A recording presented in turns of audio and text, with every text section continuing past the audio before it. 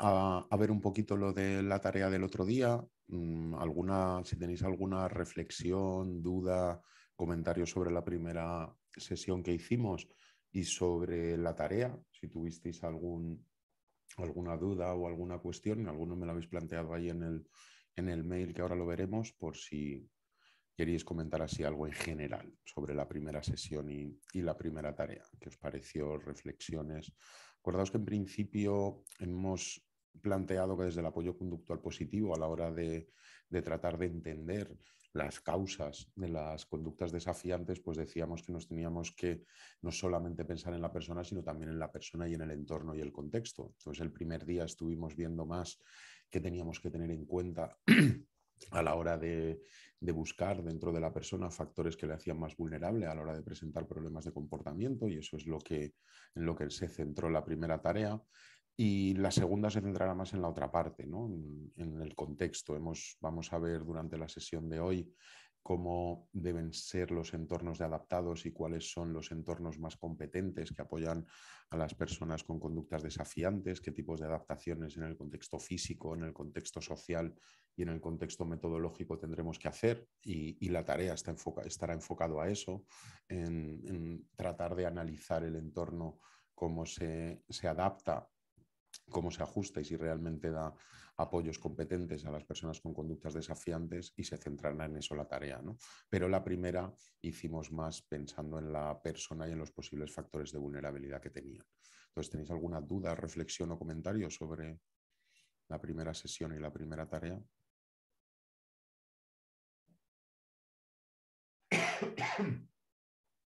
¿No? Nosotros, Alfonso, en Include, eh, la principal, bueno, buenas tardes. la principal duda que teníamos es si las tareas hay que hacerlas de forma individual, porque estamos varias personas inscritos en, este bloque, o se podían hacer de forma colectiva con, los beneficios que supone el, interactuar entre nosotros y repensar eh, en torno a distintos casos y cuántos teníamos que hacer en el caso de hacer varios. Entonces lo hemos hecho un poco como nos ha parecido. Pues a lo mejor tienes razón en que no lo concreté, porque yo creo que lo di por hecho, pero no lo concreté. En principio la idea era trabajar en grupo, es decir, que si al final se creaba un, un, equipo guía, un grupo guía dentro de la entidad, pues que al final fuera ese grupo el que fuera reflexionando de forma conjunta. Y lo ideal hubiera sido que hubieras hecho una persona solo, o sea que en el fondo no era necesario que hicierais uno por cada participante, sino que el objetivo era más que os juntarais como grupo para reflexionar y pensar sobre uno de las personas a las que apoyáis y con eso hubiera sido suficiente. Pero me gusta que me lo hayas dicho porque quizás lo tendríamos que haber concretado más, la verdad. No sé el resto de gente si lo ha hecho de forma individual. Yo creo que solo me habéis mandado uno por entidad la mayoría de, las personas. Nosotros hemos, hola, buenas tardes. Nosotros hemos mandado un caso por cada, uno de los profesionales, pero hemos trabajado todos los casos en grupo. O sea, no, mm, al azar eh, seleccionamos a, a, las personas, a, la, a las nueve personas en este caso y cada uno trabajó un caso individualmente y luego lo hemos puesto en común y hemos enviado las conclusiones de, de, los nueve casos. No sé si está bien, vamos, que si no se, nos centramos en uno nada más y ya está. No habría problema, ha sido más un problema mío de comunicación, de no haberlo concretado en la actividad. O sea que vosotros solos me habéis mandado nueve, pues entonces Sí. 4, 5, 6, 7, 8, 9, 10, 11, 12, 13, 14, 15, 16, 17, 18, 19, 20. Han mandado 20 en total y vuestros son 9. Nuestros son 9. Y bueno, nosotros la reflexión que yo saco al menos después de trabajar los casos, eh, de lo que nos damos cuenta a la hora de ponernos a, estudiarlos un poco, es de la falta de información que tenemos, de cosas que damos por hechas y nos falta muchísima información. Pensamos que en esos expedientes y en esas entrevistas y en esos estudios que hacemos está todo y ni mucho menos. Nos falta muchísima información de, de las personas. es que muchas veces en esos registros o expedientes que decís como que se recoge información de forma general, pero no específica para entender las conductas desafiantes de las personas y por tanto entonces a veces se nos, queda, se nos queda coja esa recogida de información y faltan datos específicos relacionados con las conductas desafiantes, que eso es lo bueno que, que tendrán estas dos sesiones, que en principio lo que trataremos de ver precisamente es esa información que era relevante e importante a la hora de entender o de poder explicar esos factores que hacen a unas personas más vulnerables que otras. Oye, pues genial, María Ángeles. Eh, Afán, Irinia, eh, Irene, perdón, que habías levantado la mano. Sí, eh, a ver, yo quería un poco, que es una duda que yo he planteado un poco en el, caso que, te he mandado yo, sobre los factores biológicos y médicos. En, en, la persona a la que yo he pensado, hay cuestiones de salud mental que no están correctamente evaluadas y diagnosticadas a nivel de psiquiatría, pero nosotros creemos que están jugando un papel fundamental. Entonces, claro, es como una impresión nuestra, pero no está evaluado y diagnosticado correctamente en psiquiatría, que sería parte de, una, eh, de un cambio que hay que tener en el entorno, porque me imagino que esa persona necesita una correcta o adecuada evaluación. Entonces no sabía si ponerlo ahí o, o en un factor psicológico. ¿Me explico? Sí, sí, te explicas perfectamente. En principio, claro, para que las personas al final concretemos que tienen un tema de salud mental se necesita un diagnóstico así más o menos clínico, psiquiátrico, que nos lo apunte. Pero lo más importante de todo creo que es que nosotros seamos capaces primero de detectar esos signos de alarma que nos hacen intuir que puede haber un proceso de salud mental, porque si no al final nunca se va a recurrir a, a la búsqueda de un diagnóstico más concreto. Entonces, veremos en la en la parte del proceso de cómo realizar la, la evaluación ya exhaustiva de la persona, qué herramientas o qué cuestionarios nos pueden ayudar para ver si esas alarmas que tenemos sobre temas de salud mental tienen sentido, si realmente son señales de alarma fundamentadas y eso es lo que nos va a permitir derivar y que realmente se concrete ese posible trastorno. Entonces yo hasta que no estuviera del todo diagnosticado sí que lo seguiría poniendo dentro de la parte de eh, factores de vulnerabilidad biológicos o médicos, pero con el punto a lo mejor de poner sospecha y en proceso de evaluación, porque al final creo que vuestra labor no es tanto el diagnóstico, por supuesto, pero sí es súper importante que tengáis claro cuáles son las señales de alarma que nos hacen pensar que una persona puede estar sufriendo algún, algún tema de algún proceso de salud mental, claro, lógicamente. Eso es clave. Me están diciendo que me escucháis muy bajito, que me escuchan muy bajito. ¿Serán solo ellas o es en general todos? Yo escucho bien. El resto es que ha habido una persona de Afanias. bien, bien. ¿Sí? Vale, pues quizás sois vosotras que la tenéis un poquito bajo el volumen. yo suelo decir que en esto de, las, de las posibles, posibles señales de alarma en los temas de salud mental, yo digo que es muy importante entender cuándo surgen las conductas que nos preocupan, de cuándo tiempo y cuál ha sido el curso de desarrollo de esos comportamientos, porque esos nos pueden dar bastantes pistas para intuir esa situación. ¿no? Imaginemos una gráfica, ¿vale? En la que este sería el paso del tiempo, ¿vale? Imaginemos aquí cuando tenía cuatro años, 8, 12, 16, 20, 24, ¿vale? y 28 años. Imaginemos que aquí lo que puntuamos o lo que evaluamos es algún tipo de comportamiento que nos preocupa, ¿vale? Imaginemos que estamos hablando de agresiones, por ejemplo, y hacemos una estimación del número de agresiones a la semana, por ejemplo, ¿vale? Y ponemos 5, 10, 15, 20, 25 o 30 a la semana.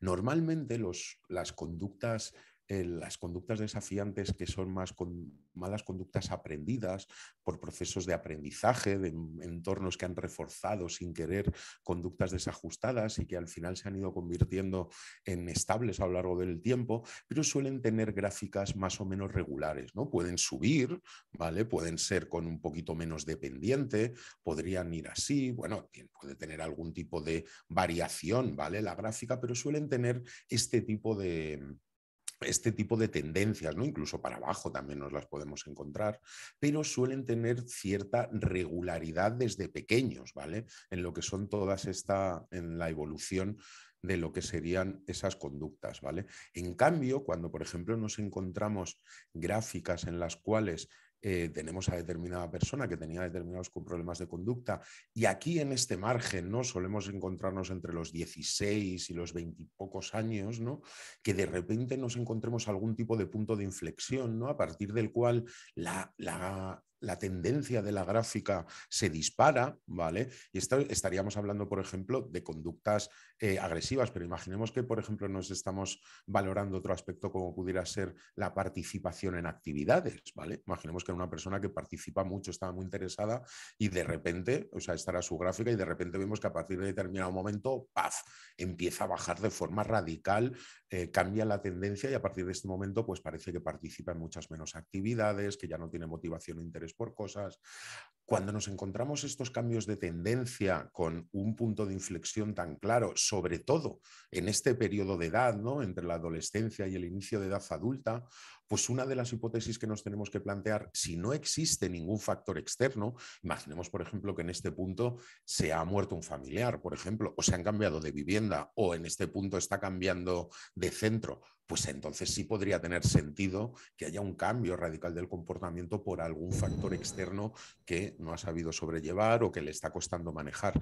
Pero cuando nos encontramos este tipo de gráficas eh, y no ha habido ningún factor externo que nos haga pensar que puede ser la explicación del cambio, pues una de nuestras primeras hipótesis sí que se tendría que plantear algún proceso de salud mental. ¿Por qué? Porque estamos, por un lado, en la ventana de tiempo en la que se suelen desarrollar de manera más habitual, entre la adolescencia y principios de edad adulta, y cambios de comportamiento tan radicales y con un cambio en la tendencia tan importante con estos puntos de inflexión, pues sería uno de los indicadores que nos tendrían que hacer sospechar de que a lo mejor se está produciendo un proceso de salud mental en esos momentos. ¿no? A mí me gusta mucho este tipo de, gráficas generales, lo que pasa es que es importante tener datos ¿no? para poderlas rellenar de la forma más objetiva posible, pero este tipo de gráficas nos ayudan mucho a poder interpretar determinados comportamientos. ¿no? Si en vez de ser una gráfica de eh, esta, por ejemplo, en vez de ser una gráfica anual o de tantos años, imaginemos que es una gráfica solo de un mes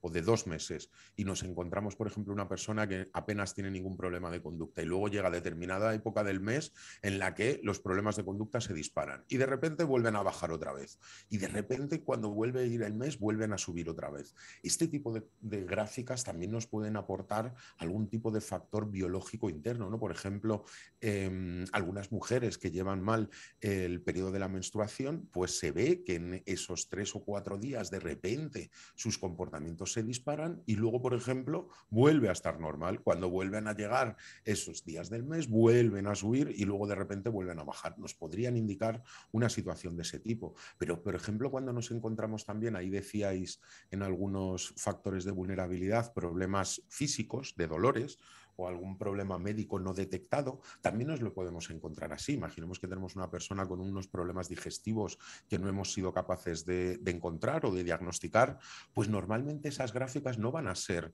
tan... Eh, tan regulares como nos encontramos en los otros casos que os decía de conductas aprendidas, sino que, por ejemplo, cuando nos encontramos casos de enfermedades, pues también pueden tener este tipo de gráficas, ¿no? Es decir, que yo tengo periodos en los cuales estoy bastante bien, que serían esta parte de aquí, en la que apenas tengo, no se notan mucho, y luego de repente suben mucho los problemas de conducta y vuelven a bajar. Este tipo de gráfica, pues también nos podría estar indicando algún tipo de problema de dolor físico o algún problema de salud que hace que cuando ese problema de salud no sea incipiente, no hay ningún tipo de problema, pero cuando el problema de salud se agudiza, ¡paf!, impacta y aparecen más problemas de comportamiento. Cuando ese problema de salud, ya sea por medicación o ya sea porque se le ha pasado, el dolor vuelve a remitir, pues volvemos a encontrarnos la línea basal. ¿no? Yo creo que, el establecer esa línea basal en las personas es muy importante. ¿no? Hablamos de línea basal como su comportamiento habitual cuando no hay ningún factor externo que lo pudiera estar interfiriendo, que pudiera estar afectando de forma negativa. ¿no? Tener esta clave de la línea basal de cuál es su comportamiento habitual para luego poderlo comparar con esas otras situaciones, pues pueden ser indicadores de ayuda que nos hacen pensar que quizás existiera algún problema de salud mental o de salud física o de algo que nos pueda haber. Entonces, nuestra labor sobre todo clave es la parte de la detección. Cuanto antes seamos capaces de detectar indicadores que nos hacen sospechar un problema de salud mental, antes se podrá acceder a un diagnóstico adecuado y antes se podrá llegar a una medicación adecuada que nos ayude a regular estas situaciones. Tenemos que entender que yo creo que el otro día lo dice, que el apoyo conductual positivo en principio eh, va a funcionar con todas las personas independientemente de su diagnóstico y de su edad o de su capacidad intelectual, ¿no? Pero sí que es cierto que hay veces que cuando existen los problemas de salud mental asociados, el apoyo conductual por sí mismo no va a ser suficiente y necesitamos ayuda farmacológica para poder regular la intensidad de esos síntomas que están tan alterados y que luego estas otras estrategias de enseñanza de habilidades, de aprendizaje, de entornos y demás tengan mucho más efecto. O sea, que la detección inicial de sospechas sobre temas de salud mental y luego derivación, que luego es el otro problema, ¿no? El derivación a un centro que realmente sea especializado o algún psiquiatra que sea especializado en este ámbito para dar un diagnóstico ajustado, pues es muy importante. Pero vosotras, sobre todo, la clave es esa, ¿no? La parte de la detección. Si hay sospechas, pues en el factor de vulnerabilidad se pondría que sí, que existen sospechas, pero que está en, en proceso de evaluación y por tanto no se podría concretar.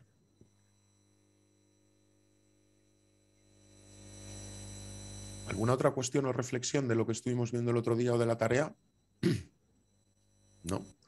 Vale, pues voy a poner algunas de, las que habéis mandado. En general, yo creo que las habéis puesto bastante bien, ajustadas cada una en cada uno de los factores eh, en el área correspondiente, adecuada, ¿vale? Pero bueno, vamos a ver algunas para que veamos como ejemplo cómo lo tendríamos que ir viendo, ¿vale? Aquí, por ejemplo, tenemos a una persona que lo que habéis planteado sería que en la parte de los efectos biológicos estaría la parte del TDAH algunos me habéis preguntado si realmente la discapacidad intelectual la tendríamos que meter dentro de factores de vulnerabilidad biológicos, médicos o psicológicos emocionales. En principio, pues sí que debería de entrar de la parte biológica o médica. Tenemos que entender que al final la discapacidad intelectual es más una consecuencia de un problema biológico, ya sea genético, un problema médico en una situación del, del parto o del perinatal que en principio sí es lo que deberíamos situar aquí. Y está claro también que hay datos que avalan que tener discapacidad intelectual te hace más vulnerable a la presencia de conductas desafiantes. Pero cuando estamos hablando en un entorno de discapacidad intelectual como el nuestro, yo ya la discapacidad intelectual no la pondría como un factor de vulnerabilidad porque en el fondo suponemos que todos la tenemos, ¿no? Entonces me centraría más en algún otro tipo de síndromes o de alteraciones que podrían parecer. Luego, por ejemplo, los antecedentes familiares en principio no deberíamos considerarlo un factor de vulnerabilidad biológico porque la vulnerabilidad que tendría es que tú tienes más probabilidades de tener también un problema de salud mental o una discapacidad y nosotros ya lo veíamos aquí sería el posible mm, tema de salud mental o la discapacidad. Lo que sí que influiría y que además en este, en este ejemplo que habéis puesto lo habéis puesto muy bien, en el fondo eso sería más un factor de vulnerabilidad social, ¿no? Porque si yo tengo una familia que tiene ya problemas de salud mental e incluso algún grado de discapacidad, pues podríamos decir que ahí es donde sí que es relevante ese factor de vulnerabilidad y está afectando, no tanto en la parte biológica, sino en la parte social, como muy bien habéis planteado aquí. Luego, por ejemplo, aquí puntos débiles muy bien la parte de la rigidez, la autorregulación. Temas de la ansiedad, pues aquí si creemos que al final la ansiedad es más de un proceso de salud mental, pues quizás deberíamos meter la ansiedad dentro del factor de una más biológico médico si creemos que lo que está teniendo es un, un tema de trastornos de ansiedad, ¿vale? La impulsividad muy bien, obsesivos muy bien. Conducta negativista desafiante, pues en el fondo quizás esto sea más la forma de la conducta o la función, pero yo no lo metería dentro del punto débil psicológico emocional, sino más que es una característica posible, ¿vale? forma de conducta. La baja autoestima clave y el déficit de función ejecutiva es muy bien. Luego la parte social, muy bien la parte de un entorno familiar no demasiado agradable, podríamos decir, el hecho de, que el entorno no le fomenta tampoco actividades y demás sin rutinas, el entorno que tiende a reforzar las conductas desajustadas o la utilización en exceso de los castigos, ¿no? o las pautas de conducta que no se empleen de forma sistemática o no fomento de la autonomía, creo que sí que son relevantes, pero yo creo que eh, os ha pasado a algunos también en general que que habéis puesto mucho el foco en esta parte social y metodológica en la parte familiar. Y está claro que esa es importante, pero también tenemos que entender que en esta parte tenemos que meter la parte social, metodológica y ambiental del entorno en el que se desarrolla la persona a nivel ocupacional, ya sea en el centro de día, centro ocupacional, si está en un centro especial de empleo lo que sea, es decir, que también influye el ambiente social, la parte metodológica y cómo apoyamos a las personas en nuestro entorno y no solo en el entorno familiar de la persona, ¿vale? Que yo sí que he visto que habéis hecho bastante hincapié en el entorno familiar algunos, pero no siempre se ha hecho ese mismo hincapié dentro del entorno más profesional, podríamos decir, o del centro del servicio, ¿vale? Si tenéis cualquier duda de lo que voy comentando, pues me decís.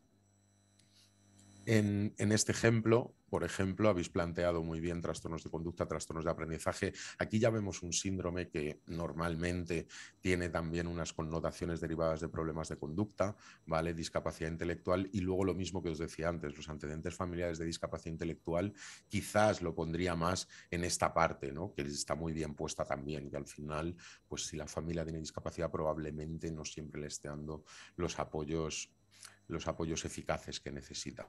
Muy bien toda la parte de los puntos débiles psicológicos, la comunicación no verbal, habilidades sociales, la rigidez, baja tolerancia a la frustración, autocontrol, impulsividad, ansiedad, hipersensibilidad, los miedos, rasgos obsesivos, Aquí, como vemos en muchos de los ejemplos al final, lo que nos tiene que ayudar esta dinámica también es a entender cómo la mayoría de las personas que tienen conductas desafiantes presentan muchos factores de vulnerabilidad en muchas áreas que otras personas no tienen. ¿no? Y además que nos los encontramos en las tres.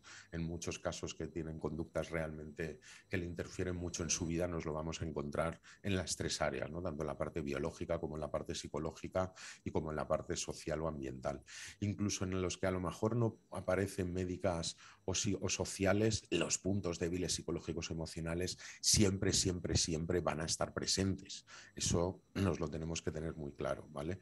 Aquí, por ejemplo, habéis diferenciado muy bien la parte del entorno familiar, de cómo nos está apoyando como se debe o en la parte sensorial incluso de la parte física, pero también habéis metido parte del entorno escolar, cómo afecta esa parte social y metodológica que que también hay que tener muy en cuenta del entorno, del, en este caso entorno escolar. Además, creo que, habéis hablado, o sea, que habéis concretado bastante en las tres áreas, ¿vale? Es decir, por un lado nos encontramos la parte metodológica de que probablemente nos estén haciendo actividades del todo motivantes, ¿no? Que nos están adaptando realmente las actividades, pero luego habéis hecho también hincapié en algo que a mí me parece clave, que es la parte, la parte social, ¿no? Del entorno. Y en este caso parece pues que el profesorado no tiene una forma muy positiva a la hora de interpretar la causa de las conductas desafiantes y por tanto en muchos casos se tienen prejuicios y actitudes no del todo adecuados. A mí esto me parece muy positivo que, que hayáis detectado esta parte y que la hayáis incluido al mismo nivel que la parte familiar porque al final afecta de la misma manera el entorno escolar que el familiar y hay que evaluarlo y tenerlo presente también. El último que sería el conflicto frecuentes con los compañeros. Aquí sí lo que realmente queremos decir es que la persona no es muy hábil a la hora de manejar conductas, o sea, problemas interpersonales personales. Quizás yo lo reflejaría más en la parte de puntos débiles eh, psicológicos emocionales, como sí que habéis puesto, ¿no? Deciden habilidades sociales o resolución de conflictos. Entonces, si creéis que en la culpa o el factor que más lo explica es su poca habilidad social para resolver conflictos, yo lo metería dentro de los puntos débiles psicológicos y en cambio si lo que nos estamos encontrando es que sus compañeros son muy conflictivos, que son compañeros que siempre están buscando conflictos, que siempre están generando dificultades, en ese caso sí nos lo pondríamos aquí, ¿vale? Porque en ese caso sí que diríamos que tiene un entorno escolar con unos compañeros que no son del todo positivos a la hora de manejar la conducta. Entonces, los conflictos frecuentes esto sería la forma de la conducta, ¿vale? Sería una descripción de, sus de los comportamientos que se presentan y son los que tendríamos que analizar. Y únicamente si creemos que estos se deben a sus pocas habilidades sociales, las plantearíamos aquí, en déficit de habilidades sociales o pocas habilidades para resolver conflictos. Y en cambio, si lo que creemos que el problema o el factor principal es que tiene un grupo de compañeros que son muy conflictivos, sí lo deberíamos de encajar dentro del entorno social, que en este caso ya no sería tan el del profesorado, sino el de los compañeros. ¿Vale? Ok.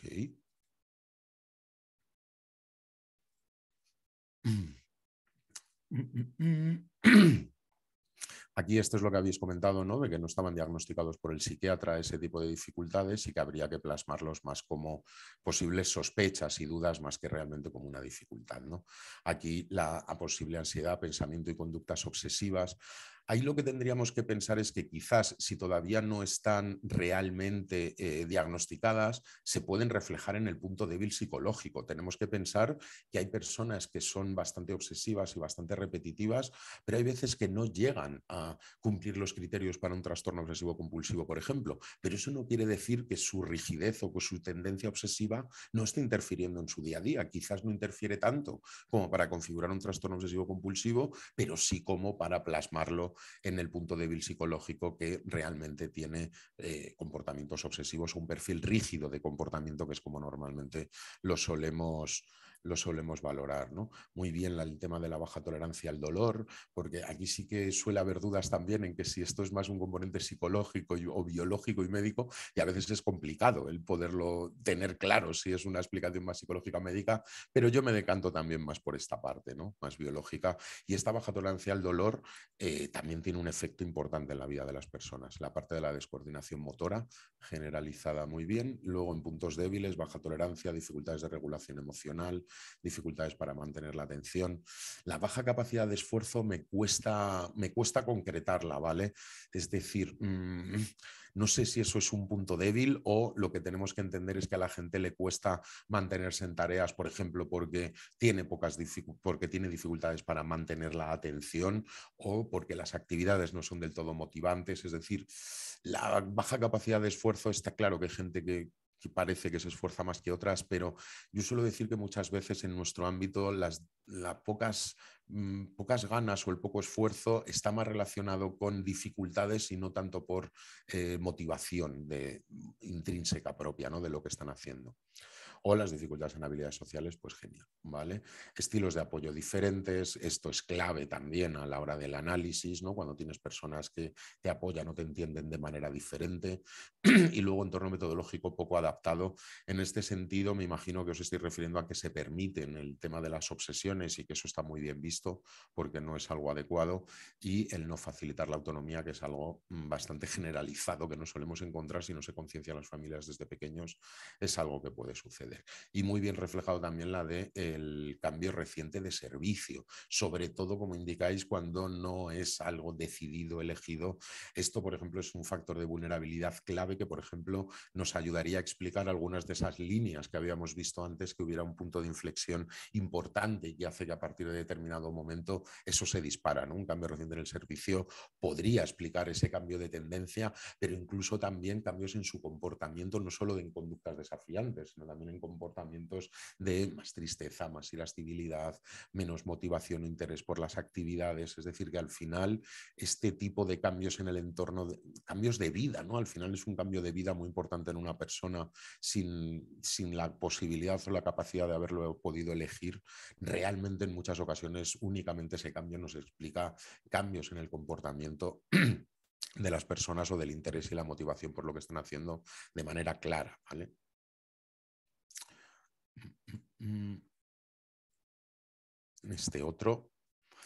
Aquí nos encontramos otro factor muy típico en las conductas desafiantes mm, dentro del ámbito biológico médico, que sería el tema de la epilepsia. Si además ya nos estamos encontrando deterioro cognitivo, no habéis puesto la edad, no sé si se refiere a un deterioro cognitivo por edad o deterioro cognitivo por la epilepsia. Nos lo podemos encontrar en las dos, las, se puede manifestar en las dos, de las dos formas y en el fondo, por supuesto, que también es otro factor de vulnerabilidad y en este caso muy importante.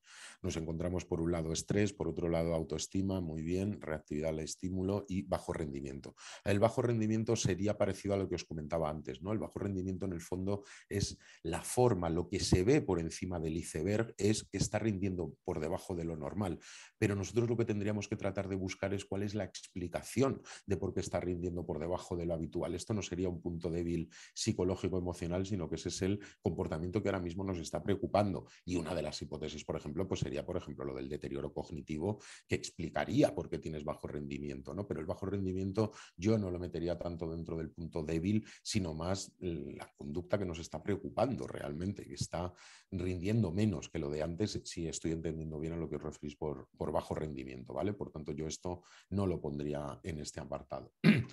Eh, relaciones tensas con los compañeros y la familia, esto sería como lo que os comentaba antes. Si al final el conflicto entre los compañeros o con la familia puede que sea la conducta en sí mismo que nos esté preocupando. Otra cosa es que queráis decir que él no es muy hábil a la hora de relacionarse con los demás y por tanto lo pondríamos dentro del punto débil psicológico, ¿vale? En pocas habilidades sociales o de resolución de conflictos, o si la familia realmente es la que está promoviendo o la que realmente genera estos conflictos, pues lo que pondríamos sería dentro del factor de vulnerabilidad que tiene una familia que no le está fomentando, los, no está generando entornos lo más positivos posible y que son familias que al final generan más problemas que soluciones. ¿no? Entonces, las relaciones tensas en principio es la conducta que nos preocupa y tenemos que analizar y en función de dónde venga, pensamos que vayamos lo pondríamos en un lado o en otro. ¿vale? Lo de la apatía generalizada sería lo mismo.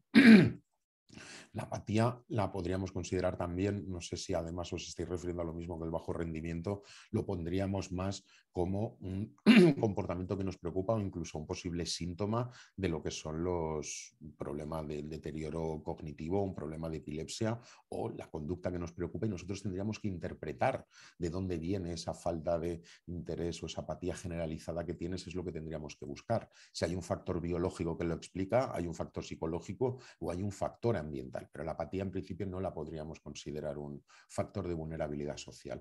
La falta de asertividad sería un punto débil dentro del ámbito psicológico-emocional, podríamos decir que sería una de las habilidades sociales que deberíamos tener y por tanto si no tienes asertividad podríamos plantear aquí falta de dificultades en habilidades sociales específicamente por falta de asertividad. En cambio los otros sí que tienen mucho sentido meterlos dentro de lo que es un factor de vulnerabilidad social o ambiental, ¿no? Los círculos de apoyo limitados eso es, es clave dentro de ese área, o sea que eso estaría muy bien.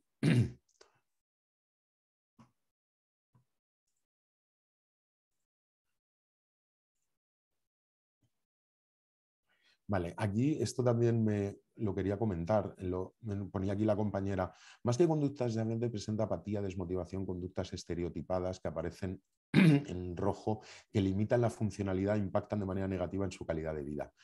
Esta es la clave de la definición de conductas desafiantes. ¿no? Yo precisamente lo que dije el primer día es que no tenemos que eh, circunscribir la definición de conductas desafiantes solo a las conductas agresivas, sino que precisamente conductas desafiantes son lo que pones precisamente al final, ¿no? que limitan su funcionalidad e impactan de manera negativa en su calidad de vida. Es decir, que al final realmente el no hacer cosas, el tener conductas estereotipadas excesivas que al final te hace que que no estés interesado en ninguna actividad funcional, el que me estés rechazando cualquier tipo de tarea, de actividad, que no quieras salir, que no quieras participar, podemos decir que son comportamientos que por supuesto los deberíamos incluir dentro del término conductas desafiantes porque limitan su funcionalidad, como pones aquí, e impactan de manera negativa en calidad de vida. O sea que realmente sí que las debéis considerar comportamientos que al final limitan las oportunidades de las personas. ¿vale? En este caso se han incluido otro que no había salido hasta ahora y que es muy relevante, que es el tema de los dolores físicos.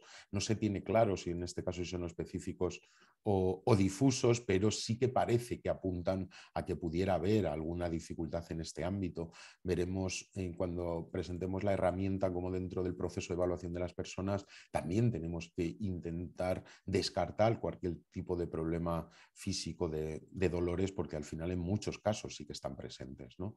En este caso está cursando con depresión, que ya tiene tratamiento farmacológico, y ansiedad, lo podríamos considerar en muchos casos, a veces incluso la depresión, los síntomas de la ansiedad son, son consecuencia de la depresión. Pero bueno, En este caso vemos que introduce los dedos en la mano izquierda de la boca. Ahí no tendríamos claro si ese tipo de comportamientos se explican por la ansiedad o no, pero si realmente creéis que tiene algún problema de ansiedad, sí que lo plantearíamos ahí. ¿vale? Dificultades comunicativas claves, menos tolerancia a la frustración, dificultades en el control de las emociones y manifiesta impulsividad. Ahí lo que, lo que sería relevante, por ejemplo, en este caso, es eh, pensar lo de la línea base que os decía, ¿no? Porque aquí, por ejemplo, estamos viendo que tenemos una persona que tiene un diagnóstico de depresión y lo que tendríamos que pensar es que si estos puntos débiles que aparecen aquí realmente los tenía esta persona antes de tener la depresión y por lo tanto realmente eh, podemos decir que nació o que son un punto débil desde el principio o realmente son más síntomas de la depresión. Normalmente en la depresión en personas con discapacidad ya dijimos el otro día que a veces cursa con, síntomas diferentes de personas sin discapacidad y sí que se vuelven menos tolerantes, más irascibles, lloran más, gritan más, son más impulsivos. Entonces aquí sí que sería relevante, este sí que es un buen ejemplo para poder haber visto la diferencia entre si estos puntos débiles que presenta realmente ya los presentaba antes de la depresión y por supuesto que entonces se tendrían que plantear como puntos débiles dentro de su perfil psicológico emocional desde siempre o en el fondo son más consecuencia o síntomas del proceso depresivo que está teniendo y además estos sí que serían buenos indicadores si realmente fueran síntomas de la depresión para saber si el tema del tratamiento farmacológico está siendo efectivo. Porque si en el fondo nosotros hacemos un análisis que nos permite detectar que este tipo de conductas son más consecuencias de la depresión porque antes de este proceso no las tenía, estos serían buenos indicadores para saber si realmente la medicación está funcionando. Aparte de que participen más actividades, diríamos, oye, está teniendo más tolerancia a la frustración, parece menos irascible desde que toma la medicación, parece algo menos impulsivo. Entonces, este sí que es un buen ejemplo para poder ver esa parte que os decía de la línea base y poder entender qué tipo de comportamientos o de síntomas eh, son más propios de la persona y que ya nació con esas dificultades o realmente son más consecuencia de un proceso de salud mental que esté teniendo actualmente y que por tanto lo tendríamos que interpretar de una manera distinta. El problema es que cuando no se tiene ese análisis de la línea base, de la situación basal de la persona, hay veces que luego no sabemos diferenciar a qué se debe a qué, ¿no? Pero este sería un buen ejemplo para poder ver esa diferencia y la importancia que tiene el valorar la línea base y para luego poder también valorar el efecto de la medicación, ¿no? que son síntomas que nos tienen que ayudar también a saber si la medicación está funcionando o no. Aquí planteáis demasiado ambiente demasiado estructurado, ¿vale? El entorno social quizás es muy directivo y luego pocas oportunidades de elección que todas están muy relacionadas con factores de vulnerabilidad social o ambiental. O sea que eso, perfecto. Vale, vamos a ver un par más, así como resumen, para que en el fondo lo que os quiero transmitir es la importancia que tiene valorar esto ¿no? y cómo los podemos intentar situar en cada, en cada uno de los aspectos. Aquí vemos problemas de salud mental. Aquí, claro, habéis planteado que las alteraciones de conducta, ¿no? Mm, lo que no sabemos es, tenía la alteración de conducta por sí mismo mm, no tiene por qué ser un, un problema de salud mental, sino que en muchas ocasiones son consecuencia de otro proceso de salud mental que no se ha diagnosticado, por ejemplo, puede ser. Hay un diagnóstico de trastorno de conducta también, ¿vale? Pero en principio aquí tendríamos que diferenciar si la alteración de conducta es más consecuencia de otro proceso de salud mental o realmente pensáis que esas dificultades de conducta ya en sí mismas son un proceso de salud mental, que eso no nos lo solemos encontrar, ¿vale? Luego tenemos también problemas de salud física, epilepsia, encefalopatía o retraso mental severo, que no ayuda. Personalidad ansiosa. Celoso y poco trabajador me parece una descripción un poquito mm, poco objetiva, podríamos decir, y un poco interpretativa, ¿vale? Pero bueno, no controla las emociones, dificultad para controlar las emociones. Luego, aquí, conductas disruptivas, agresiones físicas a las personas, esto es la forma de la conducta, cómo se manifiesta la conducta, pero qué es lo que nosotros tenemos que intentar entender. O sea, que aquí esto no lo pondríamos en las agresiones físicas, ni romper objetos, ni las autolesiones, podríamos considerarlo una... Eh, un factor de vulnerabilidad psicológico emocional, porque en el fondo eso son las conductas desafiantes que nos preocupan y son las que tenemos que tratar de, buscar la explicación o la interpretación. Y en cambio la otra sí, alteraciones sensoriales que hasta ahora, por ejemplo, no han aparecido Eh, el tema este del punto débil es típico que nos lo encontremos en personas con TEA, pero también pueden aparecer en personas con otros trastornos. Y en este caso vemos que parece que es sobre todo relacionado con el tema de los ruidos. Mm, a muchas personas con TEA les pasa lo de los ruidos de los niños pequeños y al final les acaban generando algo de ansiedad los niños en sí mismos. Hay interpretaciones que hablan que sobre todo por la impredecibilidad, ¿vale? De no sé cuándo el niño se va a poner a llorar, se va a poner a gritar, se va a enfadar y por tanto al final le genera la ansiedad ya solo la presencia del niño porque no anticipa o no es capaz de calcular las situaciones en las que van a aparecer ese tipo de sonidos que no es capaz de tolerar. Factores históricos, el hijo único, bueno, yo lo consideraría más que le sobreprotegen, se puede sobreproteger cuando se tiene un hijo único o hay veces que hay familias que tienen hijos únicos que no los sobreprotegen, por tanto quizás pondríamos únicamente la parte de la sobreprotección y no tanto la alusión al hijo único. ¿no?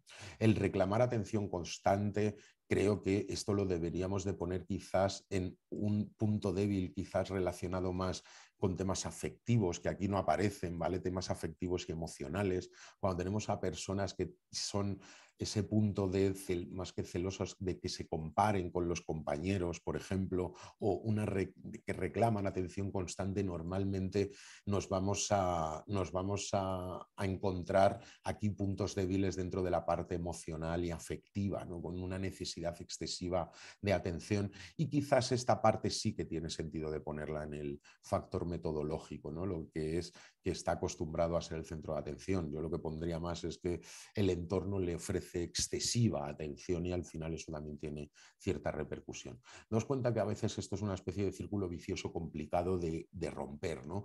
porque hay veces que que, los chicos cuando son pequeños tienen esa tendencia a necesitar más atención, la familia lo nota y por tanto le presta más atención. Cuando se le presta más atención al final el niño se acostumbra a que se la den y cuando no se la dan se enfada y por tanto provoca que se la vuelvan a dar y es un efecto de bola de nieve o de círculo vicioso complicado de romper ¿no? y que están influidas por las dos partes, por una dificultad, una tendencia inicial del chaval y luego por otro lado por un exceso de, apoyo, de atención por parte de la familia, pero que en el fondo parte de cubrir una necesidad que ya tenía no cubierta. ¿no?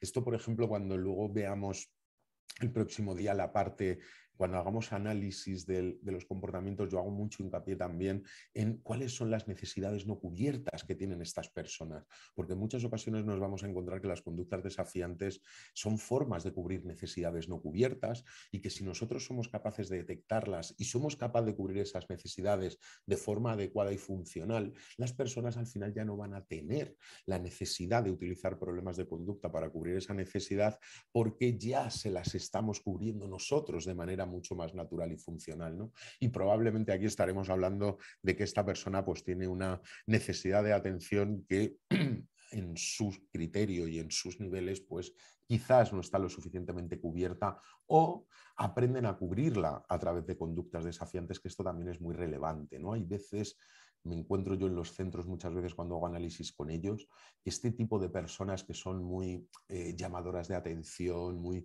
provocadoras, son personas que al final causan un poco de, de, cansancio, de hartazgo en los profesionales y sin querer son personas a las que nosotros de manera espontánea y natural no solemos iniciar conversaciones, no solemos iniciar atención. Si nos lo cruzamos por el pasillo nos hacemos los locos e incluso le ignoramos porque a ver si nos va a dar el coñazo.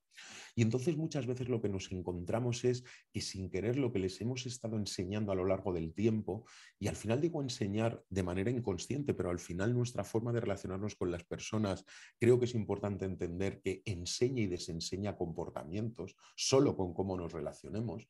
Y en estos casos muchas veces lo que nos encontramos es que se dice, no, no, pero si es que claro que le damos mucha atención, si es que se le da mucha atención pero se les da atención reactiva, se les da atención una vez que han tenido conductas desafiantes. Y entonces si te pones a analizar desde hace 10 años, lo que en el fondo se le ha estado enseñando, transmitiendo, es justo lo contrario. Lo que les hemos enseñado es, cuando tú estás bien, cuando estás paseando, cuando estás sentado, cuando estás tranquilo, no recibes atención, ¿vale? Porque al final hay veces que sin querer le tratamos de ignorar, evitar o no nos sale de forma espontánea porque le consideramos un poco un poco cansino, ya estamos un poco hartos, no nos sale de manera espontánea y natural darles ese afecto, esa atención, una conversación natural que iniciemos nosotros. Entonces, en el fondo, lo que les estamos enseñando y transmitiendo es, si tú estás normal, no recibes atención. Y en cambio, lo que también les enseñamos es que en cuanto tienes conductas desafiantes, sí que es cuando nosotros te damos la atención. ¿no? Entonces, en el fondo, esa asociación que hemos enseñado de estás bien y no te doy atención, y en cambio cuando estás mal, sí que te doy atención, en el fondo, como nosotros le hemos enseñado eso, en personas que tienen muchas necesidades de atención o esa necesidad de atención ellos sienten que no la tienen cubierta, cuando tienen necesidad de atención, nosotros lo que le hemos enseñado a lo largo del tiempo es que la forma de recibir atención es con comportamientos negativos. Entonces, al final, en muchas ocasiones utilizan comportamientos negativos para cubrir esa necesidad de atención, pero porque nosotros no hemos sido capaz de cubrir esa necesidad de atención de manera mucho más positiva, natural y espontánea por nuestra parte. Y entonces, en el fondo, al final, lo que le hemos enseñado es esa asociación. ¿no? Estás bien, no recibes atención y en cambio cuando te portas mal, la recibes. Por tanto, cuando tienen necesidad de atención, al final lo que les van a salir van a ser esos comportamientos que nosotros a lo largo del tiempo hemos estado reforzando. Entonces, es muy importante entender a veces cuáles son esas necesidades no cubiertas que tienen las personas y que hay otro ejemplo de los que me habéis mandado que creo que es muy bueno también para reflejar esto. Es otro ejemplo en el que planteáis que es una persona que tiene muchas necesidades de, relación, de tener amigos y de, de, tener pareja, y de que ese exceso de necesidad que muestra al final le hace ser bastante torpe, bastante impulsivo, bastante intrusivo con, con los demás y al final consigue lo contrario, justo consigue que la gente no quiera estar a gusto con él, que le rechace, que no quiera ser su amigo, que no quiera ser su pareja, pero en el fondo también lo que estaríamos viendo en ese ejemplo es que esa persona tiene una necesidad no cubierta a nivel social y a nivel afectivo y que la forma que él tiene de cubrir esa necesidad es totalmente contraproducente y al final consigue justo lo contrario. En vez de conseguir que la gente realmente le, le tenga en cuenta, le aprecie y quiera estar en su círculo de amistad o ser su pareja, justo consigue lo, primero, lo contrario, porque tiene tanta necesidad de lograrlo y no es capaz que al final las estrategias que utiliza son bastante torpes e incluso contraproducentes para conseguir lo que quiere. Pero es muy importante, creo, que pongáis el ojo ahí y os felicito por eso, por ver realmente que, son necesidades no cubiertas que tienen las personas, pero claro, luego en nuestros planes lo que tenemos que intentar es lo contrario, ¿no? ¿Cómo una vez que detectamos necesidades no cubiertas a las personas, cómo les podemos cubrir esa necesidad de manera mucho más natural, eficaz y positiva y así no tengan la necesidad de buscarlas a través de las conductas desafiantes que en muchos casos nos lo vamos a encontrar, ¿vale? Eh, aquí factores sociales, pues planteáis, me imagino que lo que queréis decir es que tiene compañeros que también tienen grandes necesidades de apoyo y que por tanto eh, al grupo en general se le dan pocas oportunidades de participar en la comunidad, pero yo al final esto ya no lo considero tanto un factor social, es decir, si no, yo no echaría no digo la culpa, pero no buscaría la explicación de que no se participa tanto en la comunidad porque tiene otros compañeros con menos necesidades de apoyo. Nos tendríamos que buscar las formas nosotros de pensar que las personas con más necesidades de apoyo también necesitan participar en la comunidad y tenemos que ver si de manera individual o de manera en pequeños grupos, de manera en parejas, cómo podemos hacer para que estas personas también tengan oportunidades de participar en la comunidad y no solo pensar que como tienen grandes necesidades de apoyo, pues mm, no ya es más normal que no vayan a la comunidad. ¿no? Entonces yo el no tener oportunidades de participar en la comunidad lo pondría más como un factor metodológico, es decir, que nosotros como entidad son los que nos tenemos que estrujar la cabeza, pensar y ser creativos y pensar cómo a estas personas con grandes necesidades de apoyo también les podemos ofrecer oportunidades para participar en el entorno comunitario. Por tanto, yo esto lo metería dentro de factores metodológicos y no tanto sociales. ¿vale? Muy bien planteadas la parte esta metodológica de actividades poco motivantes para él. de las que se están realizando. Dicen que solo le gustan las excursiones y terapia con alemanes. Yo diría que es lo que más le gusta. ¿vale? Y ahí muchas veces uno de los principales problemas que, que, me suelen plantear es la falta de intereses ¿no? para plantear cosas motivantes cuando tenemos a personas que tienen pocos intereses, podemos decir que nuestro primer objetivo es ser capaz de ampliar esos intereses, de ofrecer oportunidades de participar y de hacer cosas y de probar cosas para ver cuáles de ellos les pueden gustar. ¿no? Y cuando ya tenemos varias, imaginemos que decimos solo le gustan las excursiones y los animales, pero es que de ahí se podrían sacar muchas, ¿vale? Porque si lo que le gustan son las excursiones, hay muchas cosas que podrían estar relacionadas con las excursiones que también le podrían gustar. O que si le gusta la terapia con los animales o los animales en sí mismos, también podemos hacer que vea vídeos de animales, que vemos una revista de animales, hacemos un paseo con animales, nos centramos en ir a un centro de, a un, a un refugio de estos de animales para darlos de comer una vez a la semana. Es decir, que con que ya solo tenga un interés en las excursiones y otro en los animales, de esos dos grupos de intereses podríamos intentar buscar cinco, seis, siete actividades que no sean lo mismo, pero que tengan relación o con los animales o con las excursiones de tal manera que al final cogemos un interés, lo extrujamos y de ese interés intentamos sacar cinco, seis, siete actividades que, tengan ese mismo centro de interés, van a ser cosas diferentes. ¿no? Así que esto sí que es clave que cuando tenemos a personas que esto quizás lo tendríamos que poner también dentro de los puntos débiles, emocionales o psicológicos de intereses restringidos, pocos intereses, intereses obsesivos. Y, y eso sí que es un factor de vulnerabilidad psicológico porque realmente cuantos menos intereses tengas, menos probabilidades de estar en entornos unitarios en entornos lo más inclusivos o normalizados posible o participar en actividades variadas y tener una calidad de vida adecuada. O sea que, ok, vale. Bueno, pues yo creo que así como resumen de ver los que, de ver algunos de ellos para que nos hagamos una idea, creo que, que podría estar bien. ¿Alguna duda, comentario, reflexión sobre esto que hemos visto? ¿Alguna duda específica sobre algunos de los que hemos estado viendo? ¿O de los que no hemos visto? Si queréis comentar alguna cosa y lo busco y lo me comentamos, no habría problema. ¿No? Vale, genial. Vale, pues entonces vamos a centrarnos en la parte de, en la parte de hoy. Como os dije al, fin, al principio, siempre que tratamos de buscar explicaciones y entender conductas desafiantes, nos tenemos que basar en los dos áreas, primero en la persona, factores de vulnerabilidad y demás, y luego en el entorno, ¿no? Crear, ser capaz de crear entornos que dan apoyos competentes a las personas, que es en los que nos centraremos en la, en la parte de hoy, y luego la tarea también está relacionada con eso.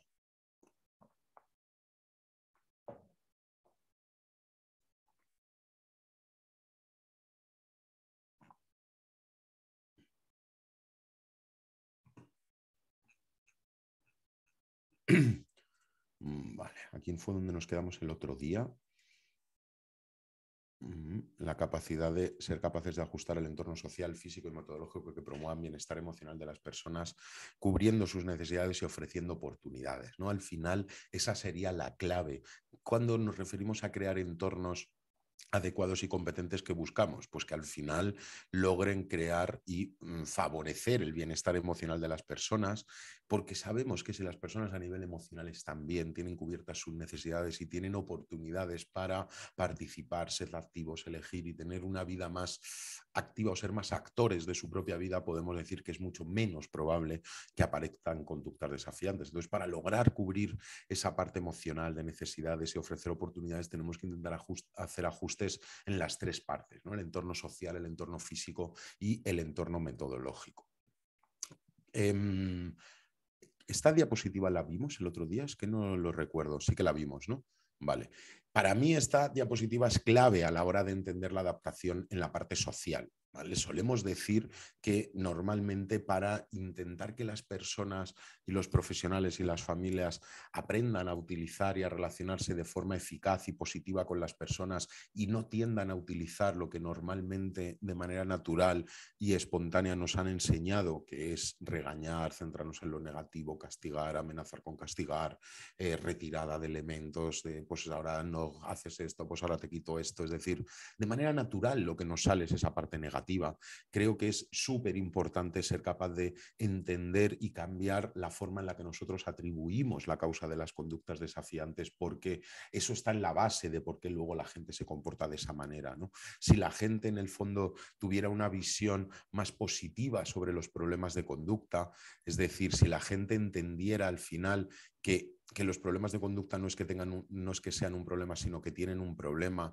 Por eso he hecho la, la, dinámica de los factores de vulnerabilidad. Si al final la gente entiende que la gente no tiene problemas de conducta porque quiere, sino que tiene muchos más factores de vulnerabilidad que otras personas, pues lógicamente el sentimiento que se nos genera está mucho más relacionado con la preocupación y la empatía y las estrategias que se van a utilizar van a ser las que desde el apoyo conductual positivo consideramos más adecuadas o más Em, ideales para manejar este tipo de comportamientos, ¿no?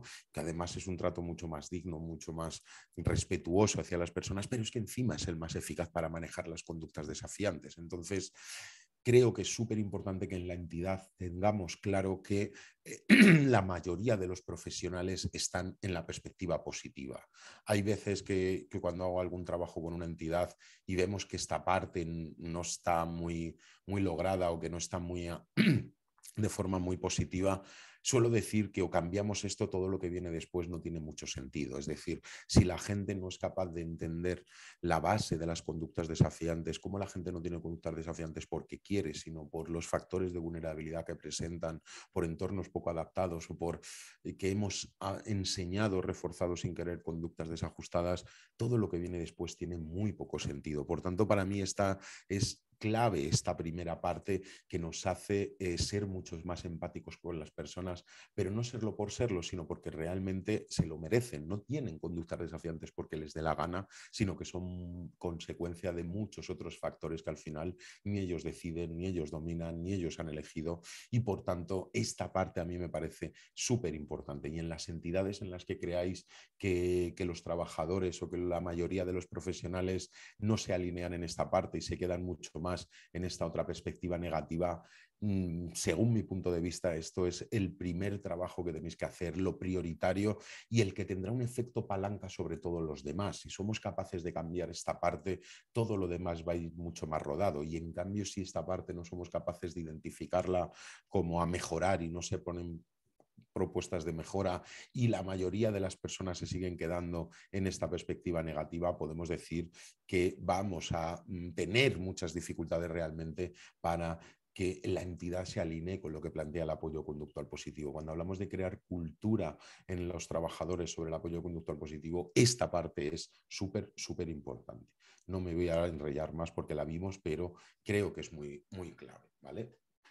Dentro del entorno social tenemos que entender que a la mayoría de las personas con o sin discapacidad nos gusta relacionarnos con los demás. ¿no? Aquí tenemos, esto sale de un artículo de Allen, la mayoría de cosas de este tipo las estoy sacando de aquí, de este de esta guía que se llama del Reino Unido, ¿vale? Positive Behavior Support, que te habla de muy todas las áreas que tendríamos que adaptar y modificar para podernos ajustar. Entonces es un resumen de esa guía que es muy completa. En esta lo que nos plantea es que el contacto social al final es una necesidad básica de las personas y que en los entornos en los que las personas con discapacidad reciben de forma habitual, de forma regular, de forma incondicional, reciben interacciones positivas con un estilo de comunicación aceptado, adaptado, perdón, pues podemos decir que es mucho menos probable que aparezcan conductas desafiantes. Pero también es cierto que hay otras personas que a lo mejor no les gusta tanto ese contacto social y por tanto al final tenemos que hacer un análisis de cada persona de cuáles son sus intereses y sus gustos para podernos adaptar. Partiendo de la base de que la mayoría sí que le gusta el contacto social, tenemos que entender que uno de los roles claves de las personas de apoyo al final es dar esas interacciones positivas, incondicionales a, las personas con las que estamos apoyando, ¿no? basándonos básicamente primero en un proceso de conocer a la persona, lo que le gusta, lo que no le gusta, lo que le interesa, su historia de vida, porque para relacionarnos y tener conversaciones eficaces, positivas y afectivas con las personas, será imprescindible conocer su vida. ¿no? Entonces, ¿Cómo podríamos describir ese tipo de entornos que realmente conocen y apoyan de forma eficaz a las personas con discapacidad intelectual? Pues serían entornos que normalmente tratan de desarrollar relaciones cercanas y afectivas con las personas. Yo suelo decir que en muchas ocasiones en los entornos de adultos en los cuales la familia va dejando de hacer visitas, las redes sociales se acaban mm, disminuyendo bastante, en muchos casos nos encontramos que los profesionales acaban siendo la red social de las personas y que tener ahí un trato digno, cercano, afectivo con ellos va a ser clave. ¿no? Y yo entiendo que con algunos nos sale y con algunos nos cae muy bien y nos sale de manera natural, pero en cambio hay con las personas que tienen conductas desafiantes esto no siempre nos ocurre. Y esto es un verdadero problema, porque muchas veces es el círculo vicioso del que hablábamos antes. ¿no?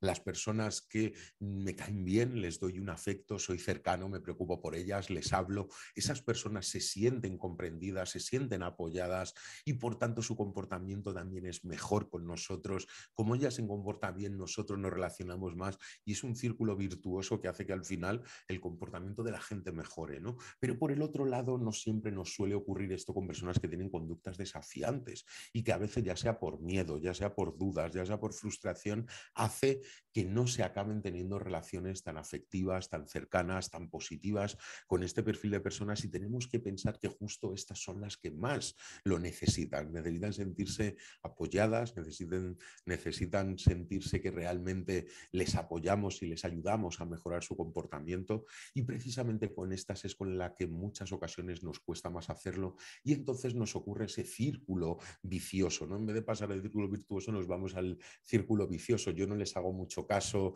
me relaciono con ellos sobre todo en plan negativo, de siempre regañar, decirles los que hace mal, corregir. La otra persona siente que no se siente del todo bien apoyada, que solo estamos para criticarles, para regañarles, por tanto no se generan relaciones de confianza afectivas, de transparencia, se les genera mucha frustración interna, se les mina la autoestima y la parte emocional por estar siempre centrándonos en lo negativo. Y esa autoestima y esa frustración que les genera el siempre estar centrando en lo negativo hace que al final ellos nos respondan también de forma mucho más irascible, con conductas más desajustadas. Eso hace que nosotros tampoco les veamos del todo positivo, no nos acercamos a ellos y se va el círculo vicioso que se nos va de las manos. ¿no? Entonces, es muy importante entender que nosotros tenemos que apoyar de la misma manera a todas las personas, nos caigan bien o nos caigan mal. Yo sé que cuando nos caen bien las personas tenemos ese tipo de relación cercana y afectiva, pero tenemos que entender que a las que tienen conductas desafiantes, como buenos profesionales, lo que tenemos que intentar es generalizar esa forma en que tenemos de apoyar o de ayudar a personas que nos caen bien y hacerlo de la misma manera y generalizarlo a personas que tienen conductas desafiantes y que no siempre tenemos, nos sale de forma tan espontánea y tan natural el ser tan majetes, positivos, afectivos y, espontáneos con ellos como somos con otras personas. ¿no? Así que esto realmente es bastante importante. Cuando tenemos a personas con muchas necesidades de apoyo, con dificultades comunicativas, hemos dicho que es clave conocer a la persona, pero hay veces que ellas no nos son capaces de expresarnos lo que le gusta o no les gusta. Por tanto, nosotros tenemos que ser capaces de identificar y describir cómo estas personas expresan lo que les gusta, lo que no les gusta, de tal manera que al final, aunque no tengan habilidades de comunicación, nosotros seamos capaces realmente de identificar en todas las personas cuando una actividad que le estoy proponiendo le gusta, cuando una persona no está del todo bien y por tanto no se puede hacer indicar algún tipo de problema físico, de problemas de dolor. Esto es clave sobre todo en las personas que tienen más necesidades de apoyo, sobre todo dificultades en la parte comunicativa, que eso es clave. Aquí muchas veces yo lo que me encuentro en los centros es que hay determinadas personas especialistas en la persona, que hay una persona que lleva mucho tiempo con él o que ha generado una relación más cercana y es como que ese profesional sí que la entiende muy bien a la persona, sabe lo que le gusta, lo que no le gusta, pero solo es ese profesional. Eso yo creo que es una limitación importante para el futuro. ¿no? Yo suelo decir que si a esa persona le toca la lotería y se va a vivir a las Bahamas o se jubila, ya no tenemos a nadie que realmente entienda, conozca o sepa la forma de entender y de apoyar a la persona y eso no es bueno. De ahí que necesitemos que haya documentos de cada persona en el cual vengan indicadas cuáles son las cosas que le gustan, que no le gustan, qué tipo de gestos o de comportamientos nos indican que algo le está gustando, que está a gusto o a lo contrario, que está a disgusto o que no está disfrutando con algo, de tal manera que al final no sea solo el conocimiento del experto profesional sobre esa persona, sino que al final sean documentos que nos permitan a cualquier persona que vaya a apoyar a, eh, a esa persona con discapacidad conocer de forma personal, podríamos decir, mm, todo lo que es relevante a la hora de relacionarnos con ellas. ¿no? Tenemos que intentar apoyar a las personas para que son las cosas que son importantes con ellos, pero entender también que las personas tienen que hacer también cosas que no les gustan, ¿no? Y ese es el punto ideal del apoyo. Yo te doy afecto, te, doy oportunidades para elegir, te introduzco actividades en tu día a día que sé que están relacionadas con tus intereses y con tus gustos, pero al mismo tiempo también tengo que entender que haya cosas que aunque te cuesten o aunque no te gustan, te vienen bien para tu calidad de vida y que por tanto tengo que intentar que te esfuerces y tengo que intentar ponerte un poco las pilas o ser un poco más dura en esas otras situaciones. Esa balanza es clave al final. La mayoría del día tenemos que intentar de ofrecer oportunidades positivas y que estén alineadas con sus intereses, pero tenemos que tener claro que al mismo tiempo también hay cosas en la vida que hay que hacer sí o sí, ¿no? Cuando estuvimos haciendo una formación que nos estuvieron formando desde el Reino Unido, recuerdo que una de las estrategias que decían era, bueno, mm, una de las cosas para solucionar conductas desafiantes es eliminar el desencadenante. ¿no? Si el desencadenante es plantearle actividad, la actividad del día a día que tienes que quitar la mesa, pues si a él no le gusta quitar la mesa, le dejo de pedir que quite la mesa y ya está. Pero luego en el fondo lo que nos decían era, pero eso no es vida para una persona. Si al final una persona rechaza todo lo que no le guste, le genera algún esfuerzo y solo hace cosas que le gusten, en el fondo en el medio plazo esa no va a ser una vida compleja, no va a ser una vida realmente plena para la persona. Por tanto, al final tenemos que intentar las dos cosas. Tenemos que intentar que le ofrezcamos a las personas cosas que le gustan, le interesan, le motivan, pero de manera coordinada y de manera relacionada, también tenemos que entender que las personas a veces tienen que hacer cosas que no están dentro de sus intereses, de sus gustos y que incluso les cuesta un esfuerzo, pero que en la vida al final no solo se puede hacer las cosas que te gusten, sino que hay otras obligaciones que tenemos que intentar realizar, aunque siempre tendremos que poner la balanza más en la, en la parte positiva. ¿no? Intentar apoyar a la persona en una variedad de actividades y contextos y muy importante a mí me parece lo de la reflexión de tu relación sobre la persona. Creo que con las personas que no tienen conductas desafiantes, pues tenemos una relación bastante positiva y adecuada, pero creo que sí que sería adecuado que fuéramos capaces de reflexionar sobre cómo nos relacionamos los los profesionales con las personas que presentan conductas desafiantes, ¿no? sobre todo el estilo de interacción ese que os decía el otro día, del centrarnos demasiado en lo negativo, en intentar corregir demasiado y hacer demasiado peso en ese lado, es clave el que de vez en cuando nos paremos, pensemos y reflexionemos de realmente cómo nos relacionamos y si a nosotros nos gustaría que nos relacionaran con que se relacionaran con nosotros así, ¿no? Yo suelo poner el ejemplo del típico jefe que lo único que te dice es todo lo malo que haces, las cosas que no has terminado de hacer bien y que jamás te refuerza, te valora o te dice lo que hace bien, ¿no? Pues a ningún trabajador nos gusta tener ese tipo de jefes que, que solo se centran en lo negativo y que no son capaces de darte una enhorabuena, de darte un refuerzo, de valorarte esa cosa que te has esforzado, que has hecho bien, ¿no? Pues a las personas con discapacidad les pasa lo mismo, pero a veces sin querer, de manera natural, el automatismo, las prisas de todos los días no nos hacen ser conscientes de cómo nos estamos relacionando con las personas y el hecho de pararnos, reflexionar internamente y decir, a ver, si a mí me gustaría realmente que me apoyaran o que se relacionaran conmigo de esta manera, pues lo estoy haciendo bien. Si cuando yo hago esta reflexión en el fondo mi conclusión es que no me gustaría que se relacionaran conmigo, me apoyaran de esta manera, pues probablemente tengo margen de mejora y habrá otras estrategias que debería utilizar para cambiar la forma en que tengo de relacionarme con la persona, apoyarla y que probablemente favorezca o mejore la parte emocional y la de la relación que mantenemos. Antes había comentado que muchas veces sin querer, cada vez que se van haciendo más mayores, las personas con discapacidad, pues al final tienen menos relaciones con gente que para ellos son significativas, porque van falleciendo o porque realmente se va perdiendo esa relación, ¿no?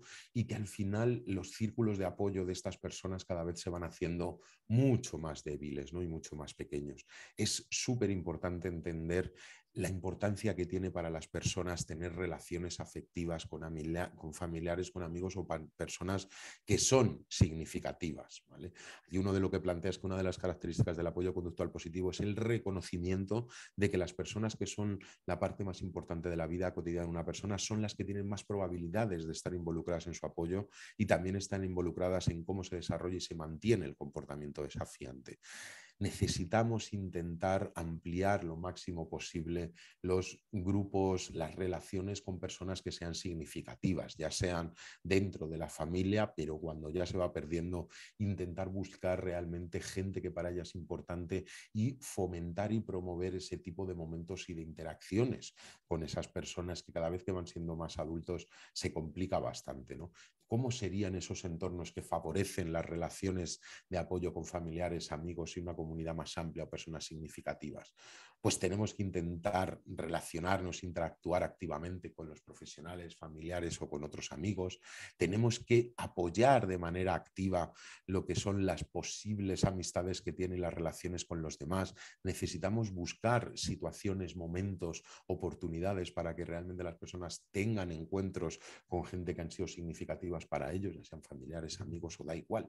Una persona, un profesional que me estuvo apoyando durante un tiempo y fue muy significativo, una persona con la que estuve en un centro hace años, pero que realmente se me ha quedado marcada. Si nosotros como profesionales de manera activa no tratamos de buscar a esas personas significativas y no tratamos de encontrar momentos en los que se generen esas interacciones de manera natural y espontánea, no van a suceder. O sea que primero tenemos que tener claro la importancia que tienen las relaciones con personas significativas cómo cada vez que van siendo más mayores esas relaciones se van eliminando y cómo si no les apoyamos nosotros desde el ámbito profesional buscar y encontrar esos momentos de relaciones, lo más probable es que de manera espontánea y natural no vayan a ocurrir. Por tanto, es nuestra labor ser capaz de entender la importancia que tiene y buscar de forma activa ese tipo de situaciones.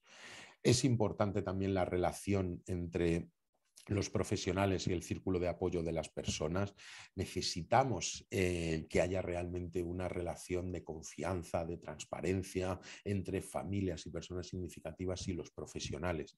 Y yo entiendo que hay veces que hay familias más complicadas y otras familias complicadas, pero al final nosotros somos los profesionales y somos los que a veces pues, nos tenemos que tragar la mala contestación que nos dio el otro día, el desprecio que nos hizo el otro día este familiar o este amigo y entender que para esa persona es importante que nosotros tratemos de llevarnos bien, de generar confianza y de intentar que al final ese grupo de apoyo mm, realmente funcione de manera eficaz a la hora de apoyar a las personas. Hay veces que nos dejamos llevar demasiado por la parte personal, ¿no? Como, bueno, si el otro día me habló mal, pues ¿por qué voy a hacer yo nada por intentar que esta persona vuelva? Pues porque es importante para la persona a la que estoy apoyando. Y aunque me tenga que tragar lo mal que me cae, el desprecio que me hizo, lo borde que fue conmigo, si creo que realmente para la persona a la que apoyo es importante tener relación con esa, pues me lo tendré que comer y tendré que intentar eh, fomentar ese tipo de situaciones o de relaciones, ¿no? buscar formas informales para compartir información y el tema del círculo de apoyo para las decisiones más importantes. Esto es otra forma también de generar confianza con ese círculo de apoyo, que al final realmente no solo estemos para Em, para decirles lo que tienen que hacer, sino también que ellos se sientan involucrados desde el principio. Esto cuando veamos la parte del proceso de apoyo conductual positivo será clave también con el personal de atención directa. Cuanto antes los técnicos seamos capaces de involucrar al personal de atención directa desde el inicio de los planes, de la evaluación, de la creación del equipo, más iniciativa van a tener y más implicados van a estar en la consecución del plan.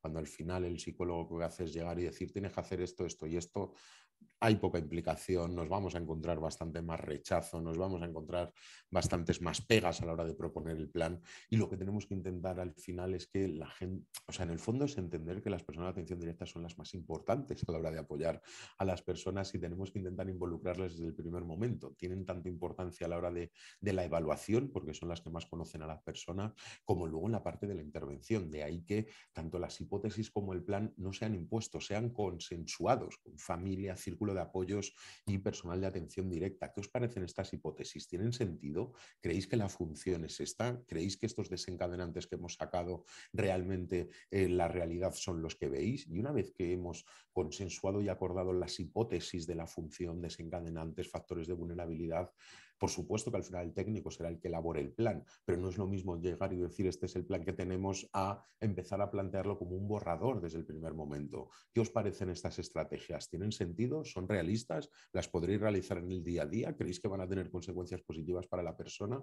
Y que al final sean planes en los que todos nos involucramos, todos los consensuamos y que por tanto van a generar muchísimo menos rechazo después, porque al final no es algo que me han impuesto, sino es algo que hemos generado y coproducido entre todos los que apoyamos realmente a la persona. Entonces, esta parte de generar ese tipo de relaciones claves con los familiares, con otros grupos de apoyo y con profesional de atención directa que nos encontremos en, en el apoyo más, más del día a día, desde el primer momento tenemos que intentar generar esos procesos de confianza, de transparencia y de involucrarlos desde el primer momento porque su participación y su, implicación van a ser mucho mayor, tanto en el ámbito familiar como de amigos, relaciones extensas o personal de atención directa desde los inicios de planes de apoyo conductual positivo.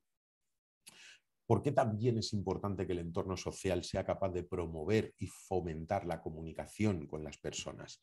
Pues está claro que las conductas desafiantes van a ser mucho menos probables cuando las personas entienden y es comprendida por quienes los rodean. Y esto tiene muchas implicaciones, ¿vale? En principio estamos hablando de las dos vías, la parte comprensiva y la parte expresiva. Por un lado, es clave, y Eduard Carr, que es el principal autor del apoyo conductual positivo, lo que dice es que muchos de los problemas de conducta tienen función comunicativa y que por tanto es clave dotar a las personas de herramientas comunicativas que les permitan hacer saber a los demás lo que quieren y lo que no quieren. Esto es una parte súper importante de los planes que veremos más adelante. Siempre tenemos que tener en cuenta que las personas que no tienen una forma de comunicar sus deseos necesitamos enseñarles sistemas alternativos de comunicación que les permitan expresar lo que quieren o lo que no quieren. Y luego, por otro lado, está la parte de la comprensión. Cuando una persona no comprende, cuando se dirigen a ella, no comprende explicaciones generales o tiene dificultades específicas en la comprensión del lenguaje, el entorno social tiene que adaptar el lenguaje, tiene que utilizar signos, tiene que utilizar gestos, tiene que utilizar apoyos visuales, de tal manera que al final tengamos claro que las personas a las que apoyamos sean capaces de comprender la mayoría de las cosas que les decimos, porque lo hemos ajustado en dificultad, pero también porque lo compensamos con otro tipo de ayudas visuales que favorecen la comprensión. Tenemos que entender que al final el lenguaje llega y se va y es muy instantáneo y si no me he dado cuenta ya no lo voy a poder pillar, ¿no? Si lo acompaño con apoyos visuales, todo esto va a ser mucho más sencillo. Por tanto, cuando hablamos de promover la comunicación con las personas, no tenemos que pensar solamente en la parte expresiva, sino en las dos, en la parte comprensiva, ¿no? Cómo podemos apoyar a las personas o cómo podemos decir que hay un entorno que realmente apoya a las personas a que se comuniquen con eficacia. Pues por un lado, primero tenemos que evaluar y entender cómo se comunica una persona y para qué se comunica. Es decir, tenemos que pensar que al final, igual que en, los problemas de conducta, la comunicación tiene dos, planos, podríamos decir, las funciones comunicativas, es decir, ¿para qué me comunico? Me comunico para pedir, me comunico para rechazar, me comunico para preguntar, me comunico para preguntar, para conversar, para pedir ayuda. ¿Cuántas funciones comunicativas tiene? Y luego la clave, ¿qué herramientas comunicativas tengo para poder llevar a cabo esas funciones? Cuantas menos herramientas comunicativas disponga, más probabilidades de que al final utilice los problemas de conducta como forma de comunicar lo que necesito. ¿no? Al final esto sería parecido a lo que hemos hablado antes de necesidades no cubiertas. La comunicación es una necesidad básica en las personas y cuando no tienen una herramienta adecuada para poder comunicarse con los demás, lo más normal es que al final acaben utilizando conductas desafiantes para poder cubrir esa necesidad básica que no hemos sido capaces nosotros de cubrírsela con algún sistema alternativo o aumentativo de comunicación. Por tanto, esta parte está súper relacionada con las conductas desafiantes. Solo tenemos que pensar en un bebé de ocho meses que cuando tiene sueño llora y cuando tiene hambre llora. Su forma de cubrir necesidades es esa porque no tiene otras herramientas.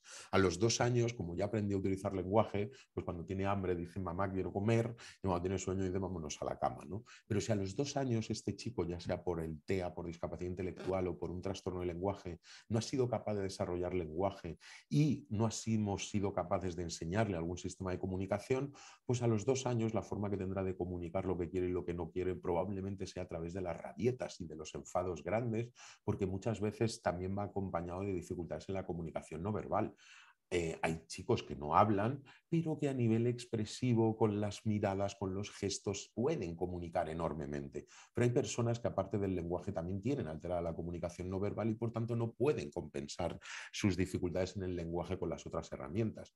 Por tanto, si ese niño a los dos años sigue sin tener lenguaje, sigue sin saber utilizar la comunicación no verbal y seguimos sin enseñarle sistemas de comunicación, pues la forma que tendrá de comunicar las cosas será a través de las rabietas y conductas desafiantes. Y si llega a los ocho años y seguimos sin enseñárselo, será la forma que utilizar. Y si llega a los 20, pues en muchas ocasiones las rabietas se convertirán en agresividad, porque en muchas ocasiones las rabietas les dejan de funcionar para conseguir lo que quieren y aprenden o les enseñamos que ya con las agresiones ya sí que les damos lo que quieren y por tanto al final su forma de comunicar y de conseguir cosas será a través de la mm, conductas agresivas. Y todo esto es originario con una falta de herramientas de comunicación que les permita cubrir esa necesidad básica que todos tenemos.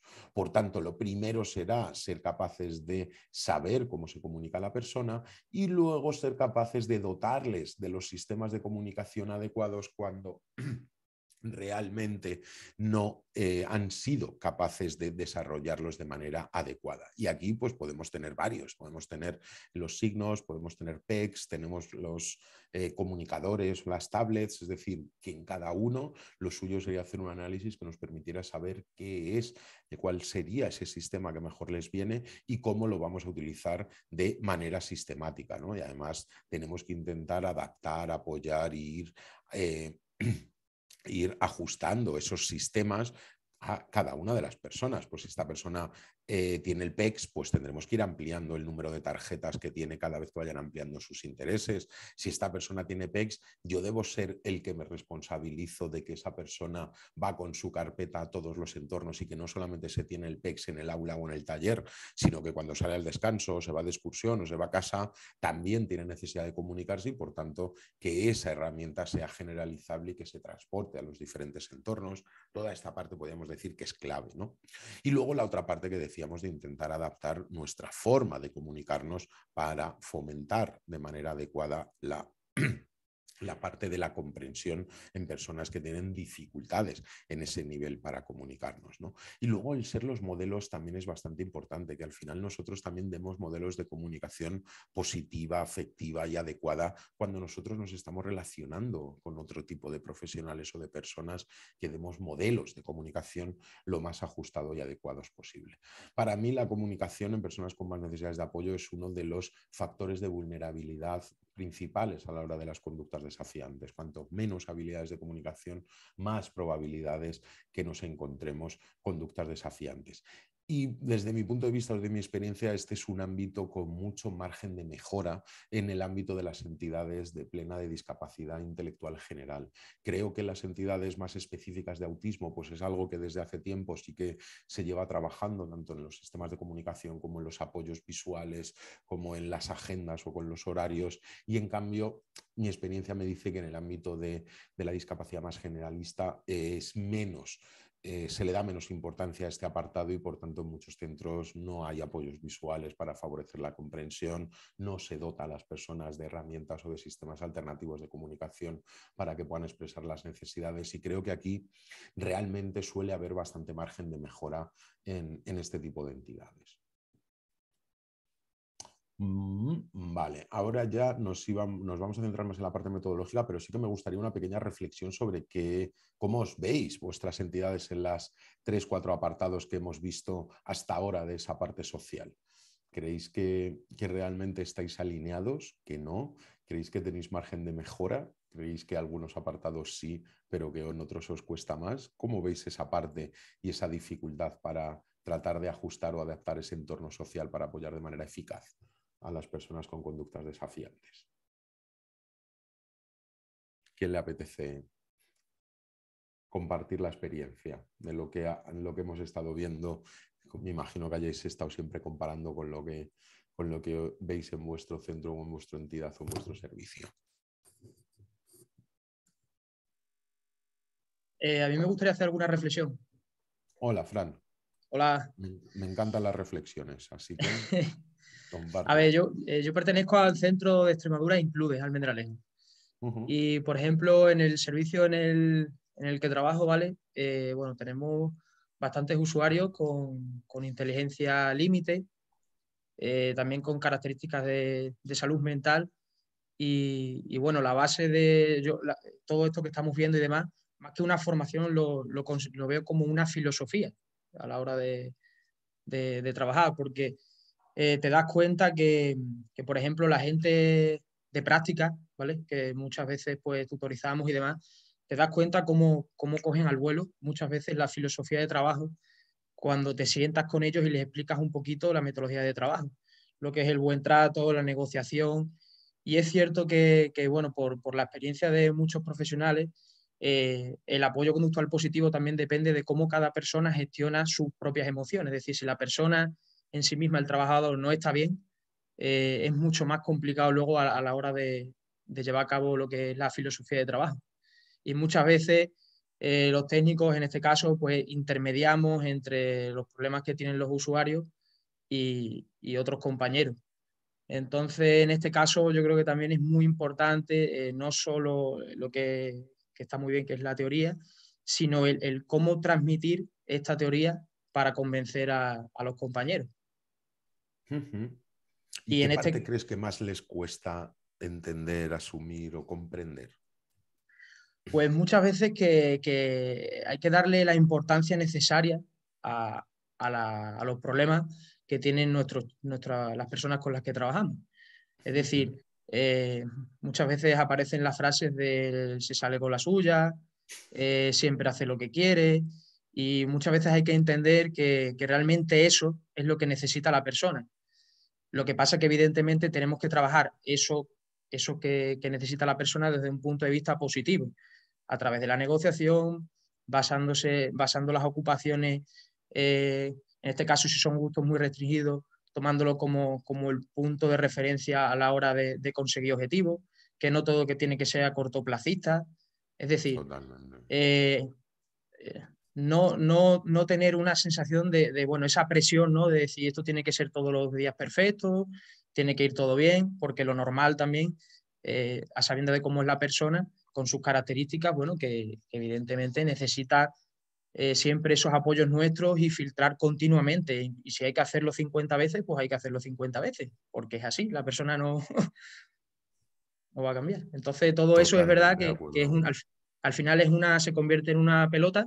Y yo creo que muchas veces también es eso, ¿no? El intentar entre nosotros pues, quitarnos esa presión de que todo siempre tiene que ir bien eh, y sobre todo apoyarnos unos, los unos con los otros.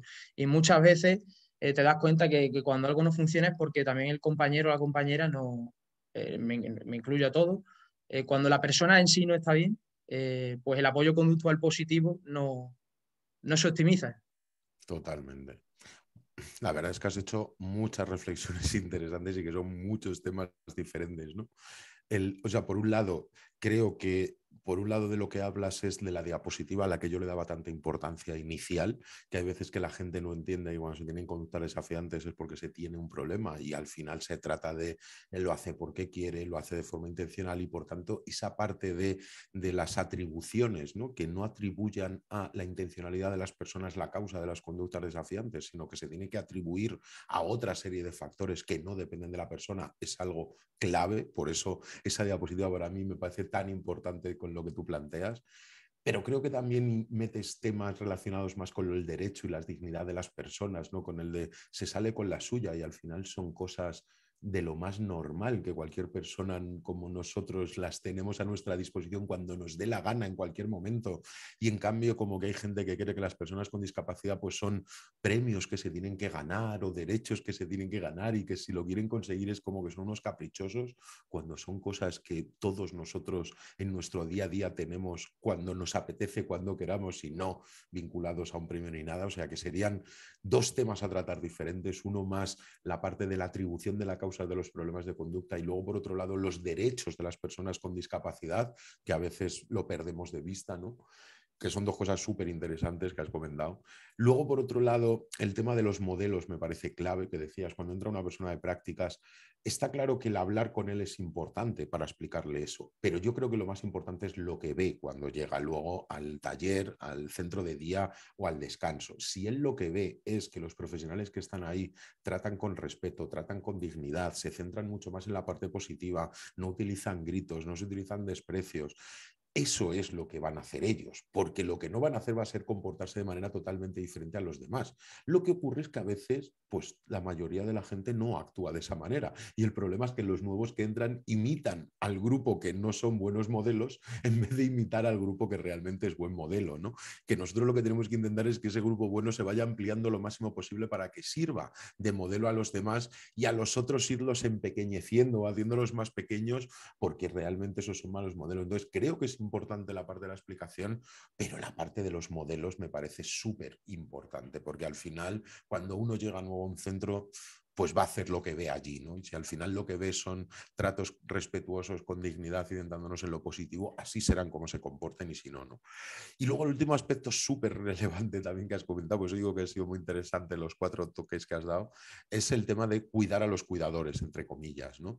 Que eso es otro apartado súper clave, que hay que entender que las personas de atención directa que están con personas con conductas desafiantes es un trabajo duro, ¿vale? Que genera miedo, genera ansiedad, genera frustración, genera es algo que realmente luego va a repercutir en la forma que se tiene de apoyar. Por tanto, la entidad también tiene que tener en cuenta esa parte de cómo soy capaz de evaluar o de generar espacios en los cuales los profesionales son capaces de compartir sus experiencias, sus emociones, cómo se sienten y tener claro que al final necesitamos también cuidar el bienestar emocional de los trabajadores, porque trabajar con personas con conductas desafiantes es duro y complejo y que por tanto desde la entidad también se tiene que cuidar enormemente porque si los cuidadores se sienten bien, me gusta llamarlos los cuidadores, pero para que lo entendamos, se sienten bien y realmente a nivel emocional están, están a gusto, la forma de apoyar van a ser mucho mejor. En cambio, al final, si estás con miedo, vas a reaccionar de una manera equivocada, si estás frustrado,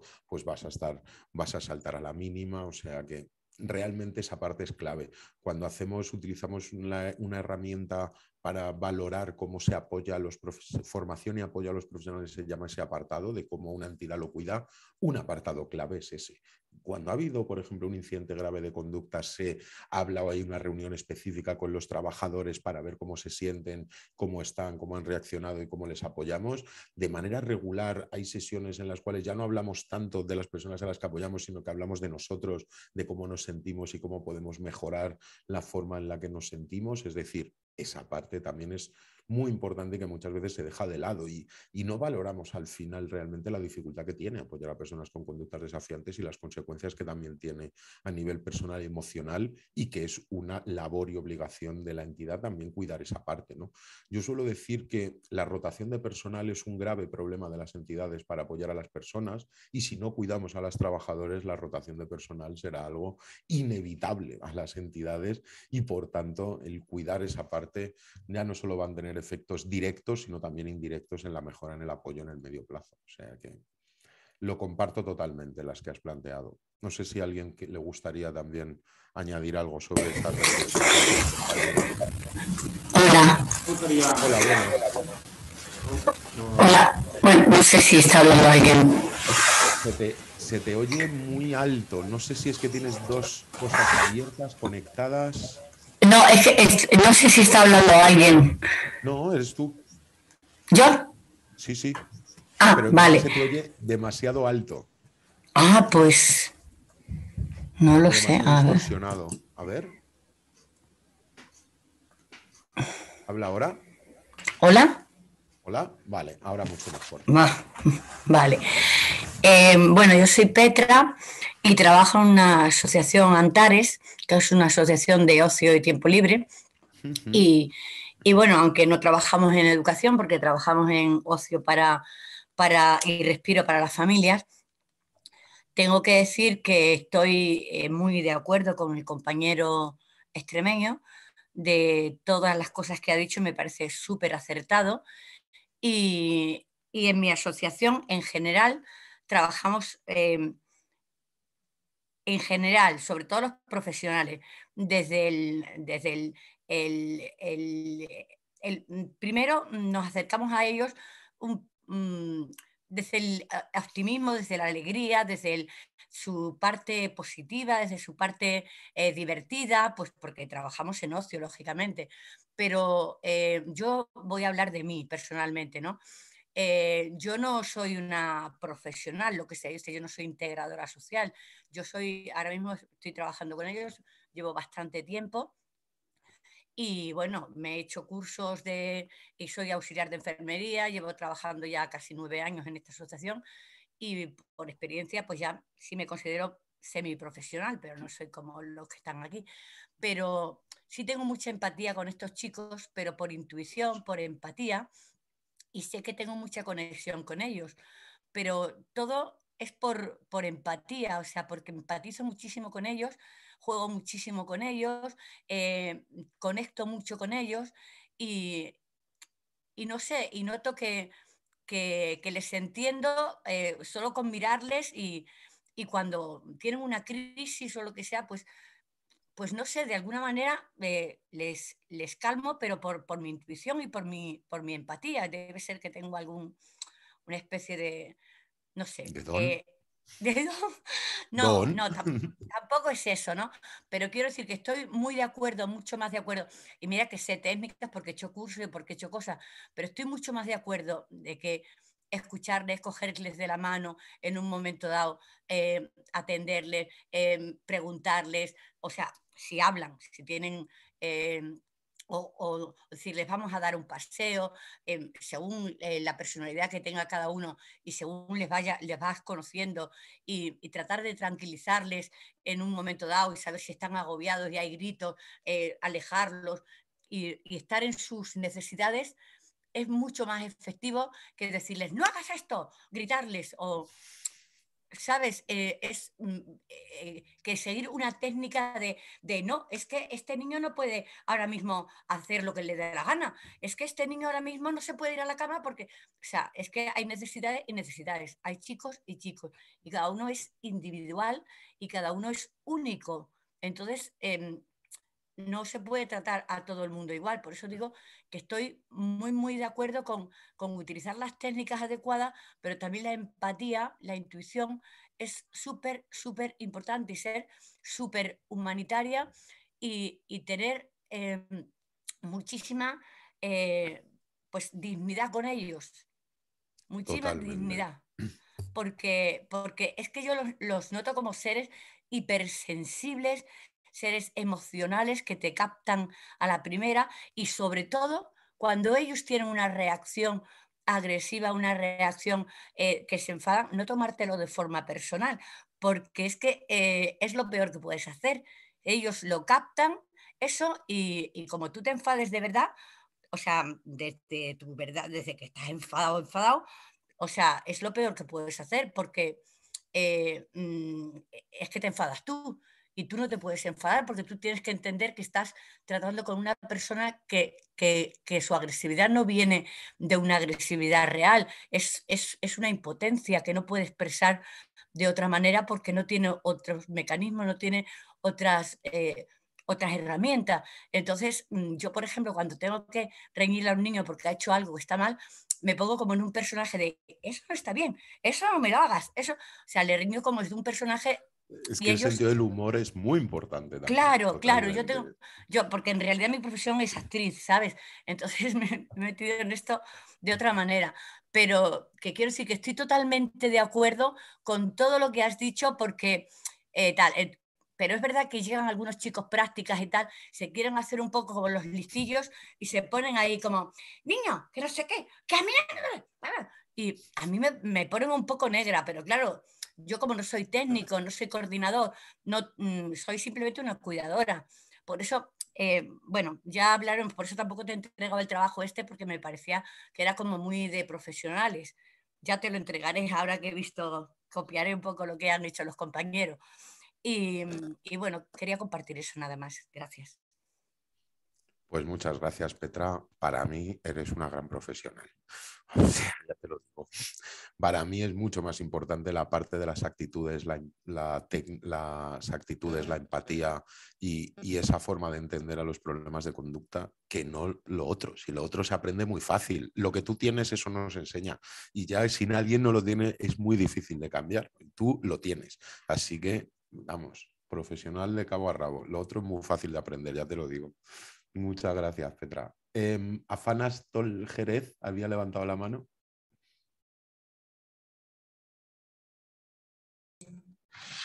Hola, Alfonso y compañero. ¿Me escucháis? Sí. Mm, mira, mm, vamos a ver cómo enlazo. Eh, totalmente de acuerdo con el compañero de Extremadura y totalmente de acuerdo contigo, claro pero eh, te cuento, yo soy personal de atención directa también, entonces eh, contemplar las emociones del personal creo que es fundamental, porque eso de no te puede enfadar, sí, porque yo me enfado porque soy humana, ¿entiendes? Y, algo que te quería haber preguntado antes, pero bueno, digo, anda, espera, espera, Mara, espera. Eh, y te lo voy a hacer la pregunta ahora, ¿vale? Porque lo has mencionado antes, la importancia de la dotación de personal en los centros en los que trabajamos porque yo creo que es súper importante para, para, que, para trabajar en esta línea de un apoyo conductual positivo y no tener que llegar a utilizar medidas coercitivas. ¿Por qué? Porque el personal, la falta de personal es uno de los grandes problemas de este tipo de asociaciones. Entonces, yo no sé si eso meterlo como factor de vulnerabilidad en la parte social, ambiental, metodológica, lo que es la falta de medios económicos de las asociaciones. Que sufrimos el personal y por supuesto lo sufren los usuarios porque no, no es que no se quiera trabajar en esta línea, es que muchas veces es imposible. Mm, no que, a ver, totalmente de acuerdo con esta línea, que por eso estamos aquí, para trabajar y para intentar. Pero mm, te voy a poner un ejemplo, para ser más gráfica, que me pasó a mí. Hace tiempo yo tenía una, llegó una chica árabe que además no hablaba nuestro lenguaje, por lo tanto, otro factor de vulnerabilidad. Agresiva, mmm, eh, tiraba cosas, agrediendo al personal de mi taller, claro, yo intentaba tranquilizar, no podía, un día, otro día, mm, estaba entre aunque siguiera agrediendo a las demás compañeras, que además ya estaban súper nerviosas y gritando, o sacarla fuera, que es el tiempo fuera. Tuve que hacer tiempo fuera para evitar otros males. ¿Por qué? Porque no, no tenía personal de apoyo, Alfonso. No sé si me explico lo que quiero dar a entender. Que hay que contar con, la situación del personal a la hora de trabajar y que gratuitamente no se llega a actuar muchas veces de ese modo, sino porque lo hacemos lo mejor que podemos y con lo que tenemos. Y por supuesto, mm, siempre eh, sintonizando con, la, con el tema este de, de trabajar en esta línea. Ya está. Muchas gracias. Sí, o sea, vamos, está claro que cuanto mejoran las ratios, mejora todo. O sea, eso es inevitable y está claro. Pero también tenemos que intentar entender que hay centros que tienen las mismas ratios todos tenemos unas ratios muy parecidas y que al final hay centros que apoyan de mejor manera, son más flexibles, son más creativos o esa parte emocional, afectiva, se lleva de mejor manera. ¿no? Siempre que nos centramos en la parte proactiva y preventiva, podemos decir que las ratios no van a importar tanto como si nos centramos solo en la parte reactiva, porque al final lo que tú planteas es, bueno, y si ya me la empezado a montar en el taller, ¿qué hago? No? Pues poco puedes hacer realmente. La clave, que no es solo tuya, sino que es de la entidad entera, sería que estrategias proactivas y preventivas podemos llevar a cabo para que sea menos probable que nos la esté montando en el taller o que tenga conductas de este tipo en el taller, ¿no? Entonces, está claro que cuanta más ratio se tenga, mejor, ¿vale? Pero también tenemos que intentar pensar en que cuanto más ponemos el foco en lo proactivo, en lo preventivo, va a ser, va a notarse menos esa parte y que esa parte se va a notar más cuando nos centramos más en la parte reactiva y no tanto en la proactiva. Entonces, al final, lo que tenemos que pensar es que si una persona nueva entra, tenemos que generar determinados mm, protocolos de actuación que no dependan al final solo de una profesional, cuando es muy poco probable que vaya a ser capaz de manejar toda esa situación ella sola una vez que surge ese problema, si no es con medidas coercitivas.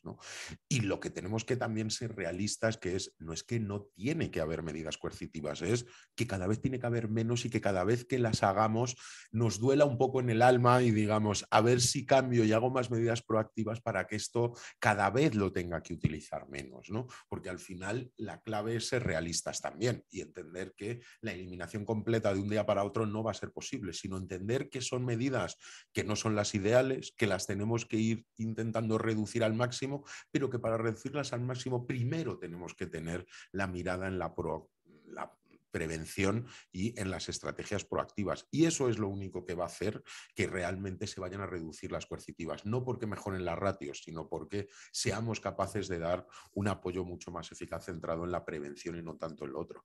Que queda muy bonito contado así, que luego en el día a día, con pocas manos, no es tan sencillo, lo comparto, lo asumo, pero yo también os, os trato de hacer ver que centros que tienen ratios muy parecidas, pues al final funcionan mucho mejor manera unos de otros. Y unos se quejan de las ratios y otros, pues se quejan también, pero ponen otro tipo de medidas que hacen que su apoyo sea mucho más eficaz, contando al final con los mismos recursos. Entonces partimos de la base de que es un problema generalizado, pero no debemos excusarnos solo en eso, explicarnos solo desde ahí, sino intentar generar otro tipo de medidas, porque quejarse por quejarse no, no nos va a solucionar nada, claro. E Includes, había levantado la mano también, por favor. Eh, hola, buenas tardes. Yo quería comentar con respecto a lo que has dicho de la comunicación, que creo que, es un punto débil que, que pasa en, muchos sitios, sobre todo con, personas adultas, que hasta ahora los sistemas de comunicación sí que se han implantado en chicos cuando no hay una comunicación oral, pero se nos ha olvidado eh, la importancia de una persona con mucha dificultad en la comunicación, como le ocurre a muchas personas con discapacidad intelectual, que no tienen un sistema aumentativo de esa comunicación, eh, que era un poco el error de hay comunicación oral, no se necesita un sistema. Ya no solo que se utilicen apoyos visuales o no, sino que esa dificultad de comunicación en muchos casos eh, es lo que ocasiona esa, esa conducta o, esa falta también de regulación.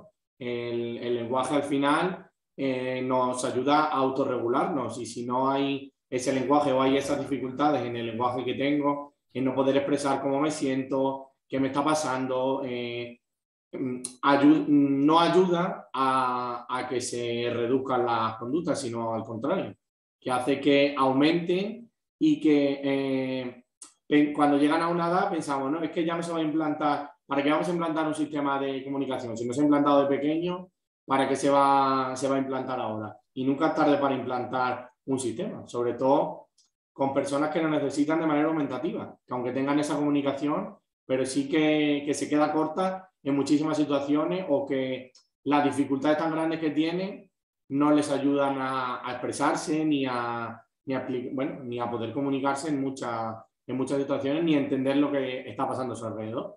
Incluso no solo ya expresarse, sino a la hora de comprender lo que les están diciendo. Que no solo las dificultades están a nivel expresivo, sino comprensivo, pues hay muchas personas con muchas dificultades a nivel comprensivo y que también tendríamos que tener eso un poco en cuenta. Y veo un punto, no, yo lo veo así como un punto débil en el que se puede, se puede trabajar y mejorar. Totalmente uno de los mitos que hay que desterrar es que los sistemas solo se tienen que enseñar cuando son pequeños, que las personas adultas ya no aprenden sistemas de comunicación. Ese es un mito a desterrar totalmente. Y el perfil de personas que dices se nos suelen quedar también ahí en la cuneta, porque bueno, hablan algo, sí que ya se pueden comunicar, se les entiende algo, pero yo creo que el perfil que te refieres son esas personas que algo comunican, pero que tendrían mucho más dentro que comunicar si se les dieran las oportunidades. Y lo que tenemos que pensar además es que esas personas son las más rápidas en aprender lo nuevo que se les enseñen, los nuevos sistemas porque tienen tanta necesidad de contar y que no lo pueden cubrir que en cuanto descubren una forma sencilla de poder comunicar o expresar de forma mucho más elaborada que hasta ese momento, les, eh, les, abres otro mundo y por tanto al final eh, tiene también mucho impacto en los trabajadores porque se ve el efecto rápidamente en estas personas que ya tienen intención comunicativa, que ya tienen algunas herramientas, pero que les das algún otro sistema que les permiten ampliarlo enormemente y es súper eficaz con ellos es un gran refuerzo para los profesionales, así que estoy de acuerdo que es un punto a mejorar. Pero bueno, para eso estamos, a intentarlo mejorar. Eh, hay otra mano levantada, pero que pone el nombre iPad de Juan Antonio, pero no tiene mucha cara de Juan Antonio. Soy yo. Hola, muy buenas. hola, buenas. Yo soy Alba Arconada y soy del Centro Villa San José.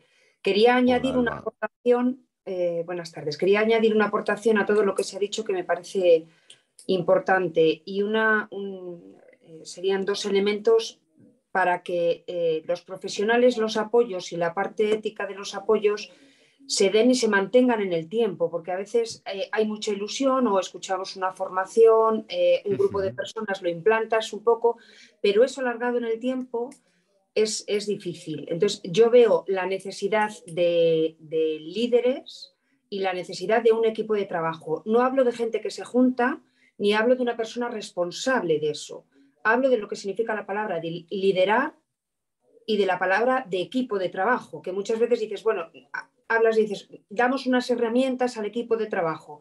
Bien, pero a veces tienes que sostener y cuando el ánimo se decae porque eh, mantener conductas eh, o mantener pautas o herramientas en chavales con grandes necesidades de apoyo o conductas difíciles, eh, Mm, provoca un cansancio mental y físico importante. Entonces, cuando tú tienes ese, equipo de trabajo y esa persona líder que te mantiene y te sostiene, entonces mm, sigue siendo el apoyo ético y no desde el cansancio, se sigue manteniendo todo eso. Y yo lo veo, lo veo necesario y a veces en las entidades simplemente con tener personas responsables o nos reunimos, ya es como que se va cumpliendo un expediente y eso en el tiempo decae es una aportación para que todo esto que estamos hablando pues, sea eficaz. Mm, que estoy de acuerdo con todas las aportaciones que se han hecho, que me parecen súper interesantes.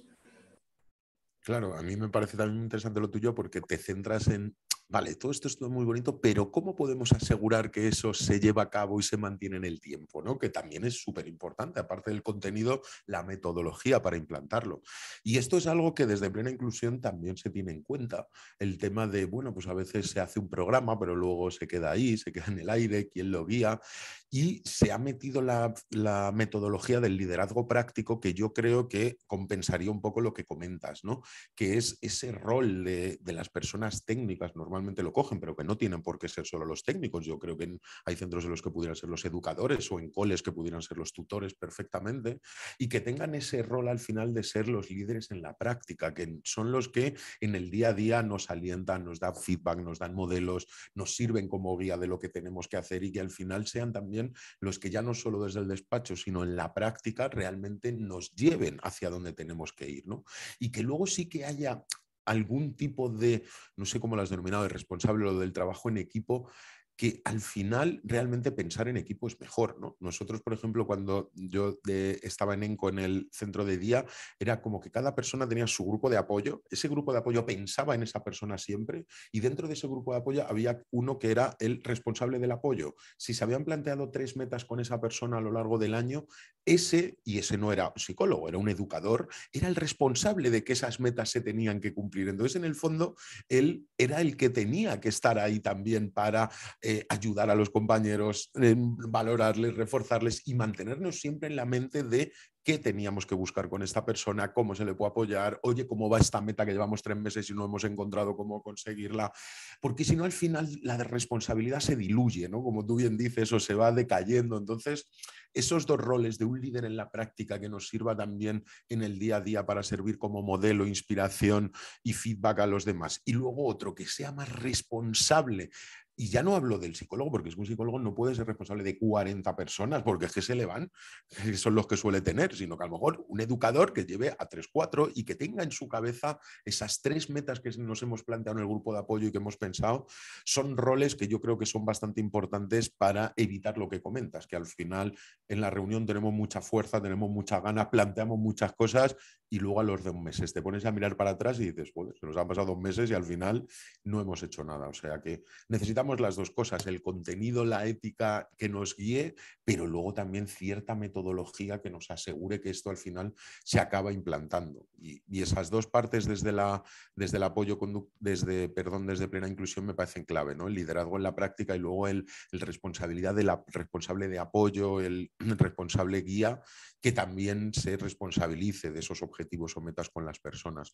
Os recomiendo en el, en la, en la guía de conductas que nos preocupan, que es una guía eh, muy, muy, muy completa hay un capítulo que se llama, creo que es en el de creación de entornos competentes, que habla precisamente de toda esta parte del liderazgo en la práctica. ¿Qué podemos hacer para tratar de implantar en el día a día todo lo que se queda en la teoría, todas las estrategias de los profesionales que no están siendo mm, capaces de llevarlas a cabo y que al final necesitamos ese rol que sea el que nos nos empuje o nos dé hacia, hacia adelante. Así que os lo recomiendo ese, ese capítulo. Pero sí, quedarse en palabras bonitas únicamente no es lo suyo. Hay que luego tener metodología a la hora de implantar, ser sistemáticos, evaluar los cambios y eso necesita también un proceso de cambio en el que normalmente las entidades no estamos acostumbradas a ellos. O sea que totalmente de acuerdo. Voy a poner en la guía esta que os digo para que veamos a lo que me refiero y ya os presento la tarea que tenemos para esta semana, ¿vale? Se me ha detenido aquí.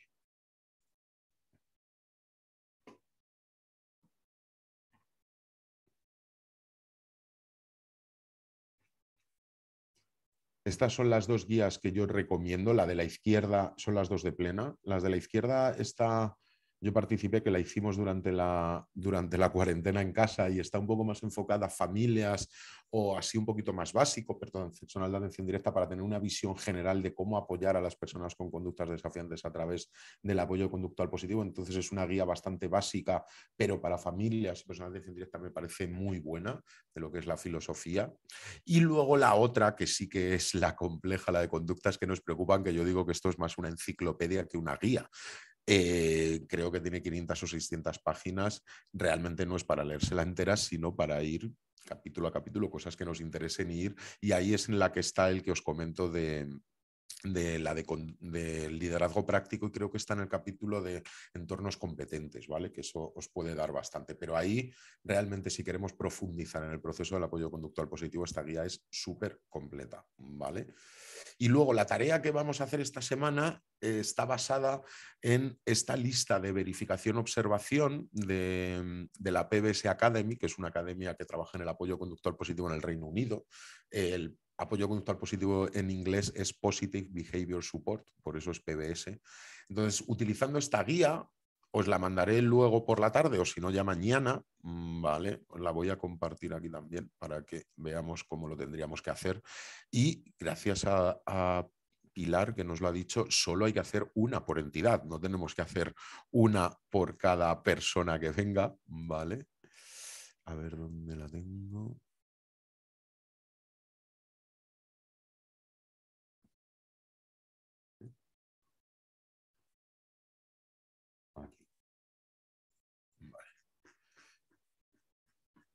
Esta es la portada de la guía, ¿vale? Y en principio lo que es es una lista de observacional. Entonces, lo que se basa es en valorar cómo está el entorno, el servicio, en cuanto a los diferentes tipos de entornos, ¿vale? Entonces, habla por un lado, esta sería más metodológica, por ejemplo, están las personas involucradas en actividades y relaciones que para ellos son significativas, ¿vale? Como son el tipo de actividades que realizan, si participan en la comunidad, si hacen actividades de ocio y demás.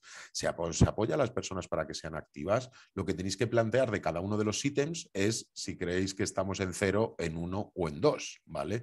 Entonces, habla de diferentes áreas. El personal apoya constantemente para que se participen y para que comuniquen. Existe una manera accesible para que eh, tanto los que reciben apoyo como el personal sepan lo que está sucediendo, el tema de apoyos visuales, de horarios, de agendas. Em, el personal, los profesionales están apoyando para que se experimenten opciones y control reales. Aquí todo lo que tiene que ver con las posibilidades de elección, autodeterminación y demás. El personal es cálido, respetuoso y empático. En esta parte es en el estilo de apoyo que tenemos. Las personas que muestran comportamientos que puedan describirse como desafiantes, el personal responde con estrategias consistentes en el apoyo conductual positivo, como si se usa la contención o no y demás, ¿vale? Por ejemplo, la parte cómo se cuidan y se reconocen las necesidades de salud y de bienestar en cada una de las personas. Es decir, habla de diferentes áreas que son las que hemos estado viendo para crear entornos, entornos competentes de apoyo. Serían 48 ítems, ¿vale? Entonces, lo ideal es que lo hagáis en grupo, solo uno por cada servicio. Si estáis, eso sí sería relevante. Si estáis de varios servicios de la entidad, sí que se podrían realizar de cada uno de los servicios. Eh, quizás en lo que menos enfocado va a estar y más lo tengáis que adaptar es para el entorno escolar. Esto está sobre todo enfocado al entorno de adultos y quizás más al entorno residencial que no centro de día o centro ocupacional, pero bueno, el centro de día ocupacional encaja bastante bien. En el que menos encajaría es en el de cole. Entonces, si alguien lo va a hacer de un cole, sí que lo tiene que hacer, pero adaptando las, ah, los ítems, los que veáis que no tienen mucho sentido, pues no se contestan. Hay algunos relacionados con con el cómo tienes la habitación, la vivienda y cosas de ese tipo que no tendrían sentido, pero otras las podréis adaptar. Entonces, haced una por cada entidad y si sois varios servicios de la entidad, sí que podría ser conveniente hacerlo de varios servicios, porque a veces lo que nos encontramos en una misma entidad es que diferentes servicios apoyan de manera diferente a las personas. ¿no? Entonces, de esa manera sí que se podría plantear hacer dos diferentes, pero si no, hacéis uno para toda la entidad juntándose el equipo. ¿Vale? ¿Alguna duda, comentario? Que ya son las seis. Reflexión. Eh, para esta, esta es un poquito más larga que la primera, por, esa, por eso esta la hemos dejado para la segunda, que en esto tenéis dos, tres semanas, que aunque esté la Semana Santa de por medio, hay bastante más tiempo, ¿vale? Entonces, intentad adaptarla y, y nada, me la enviáis al correo electrónico que ya tenéis. ¿Dudas, cuestiones, reflexiones? ¿No? Ok, pues nada, muchas gracias por participar y nos vemos en la siguiente sesión, ¿vale? Buena semana. Chao. Gracias, buena semana.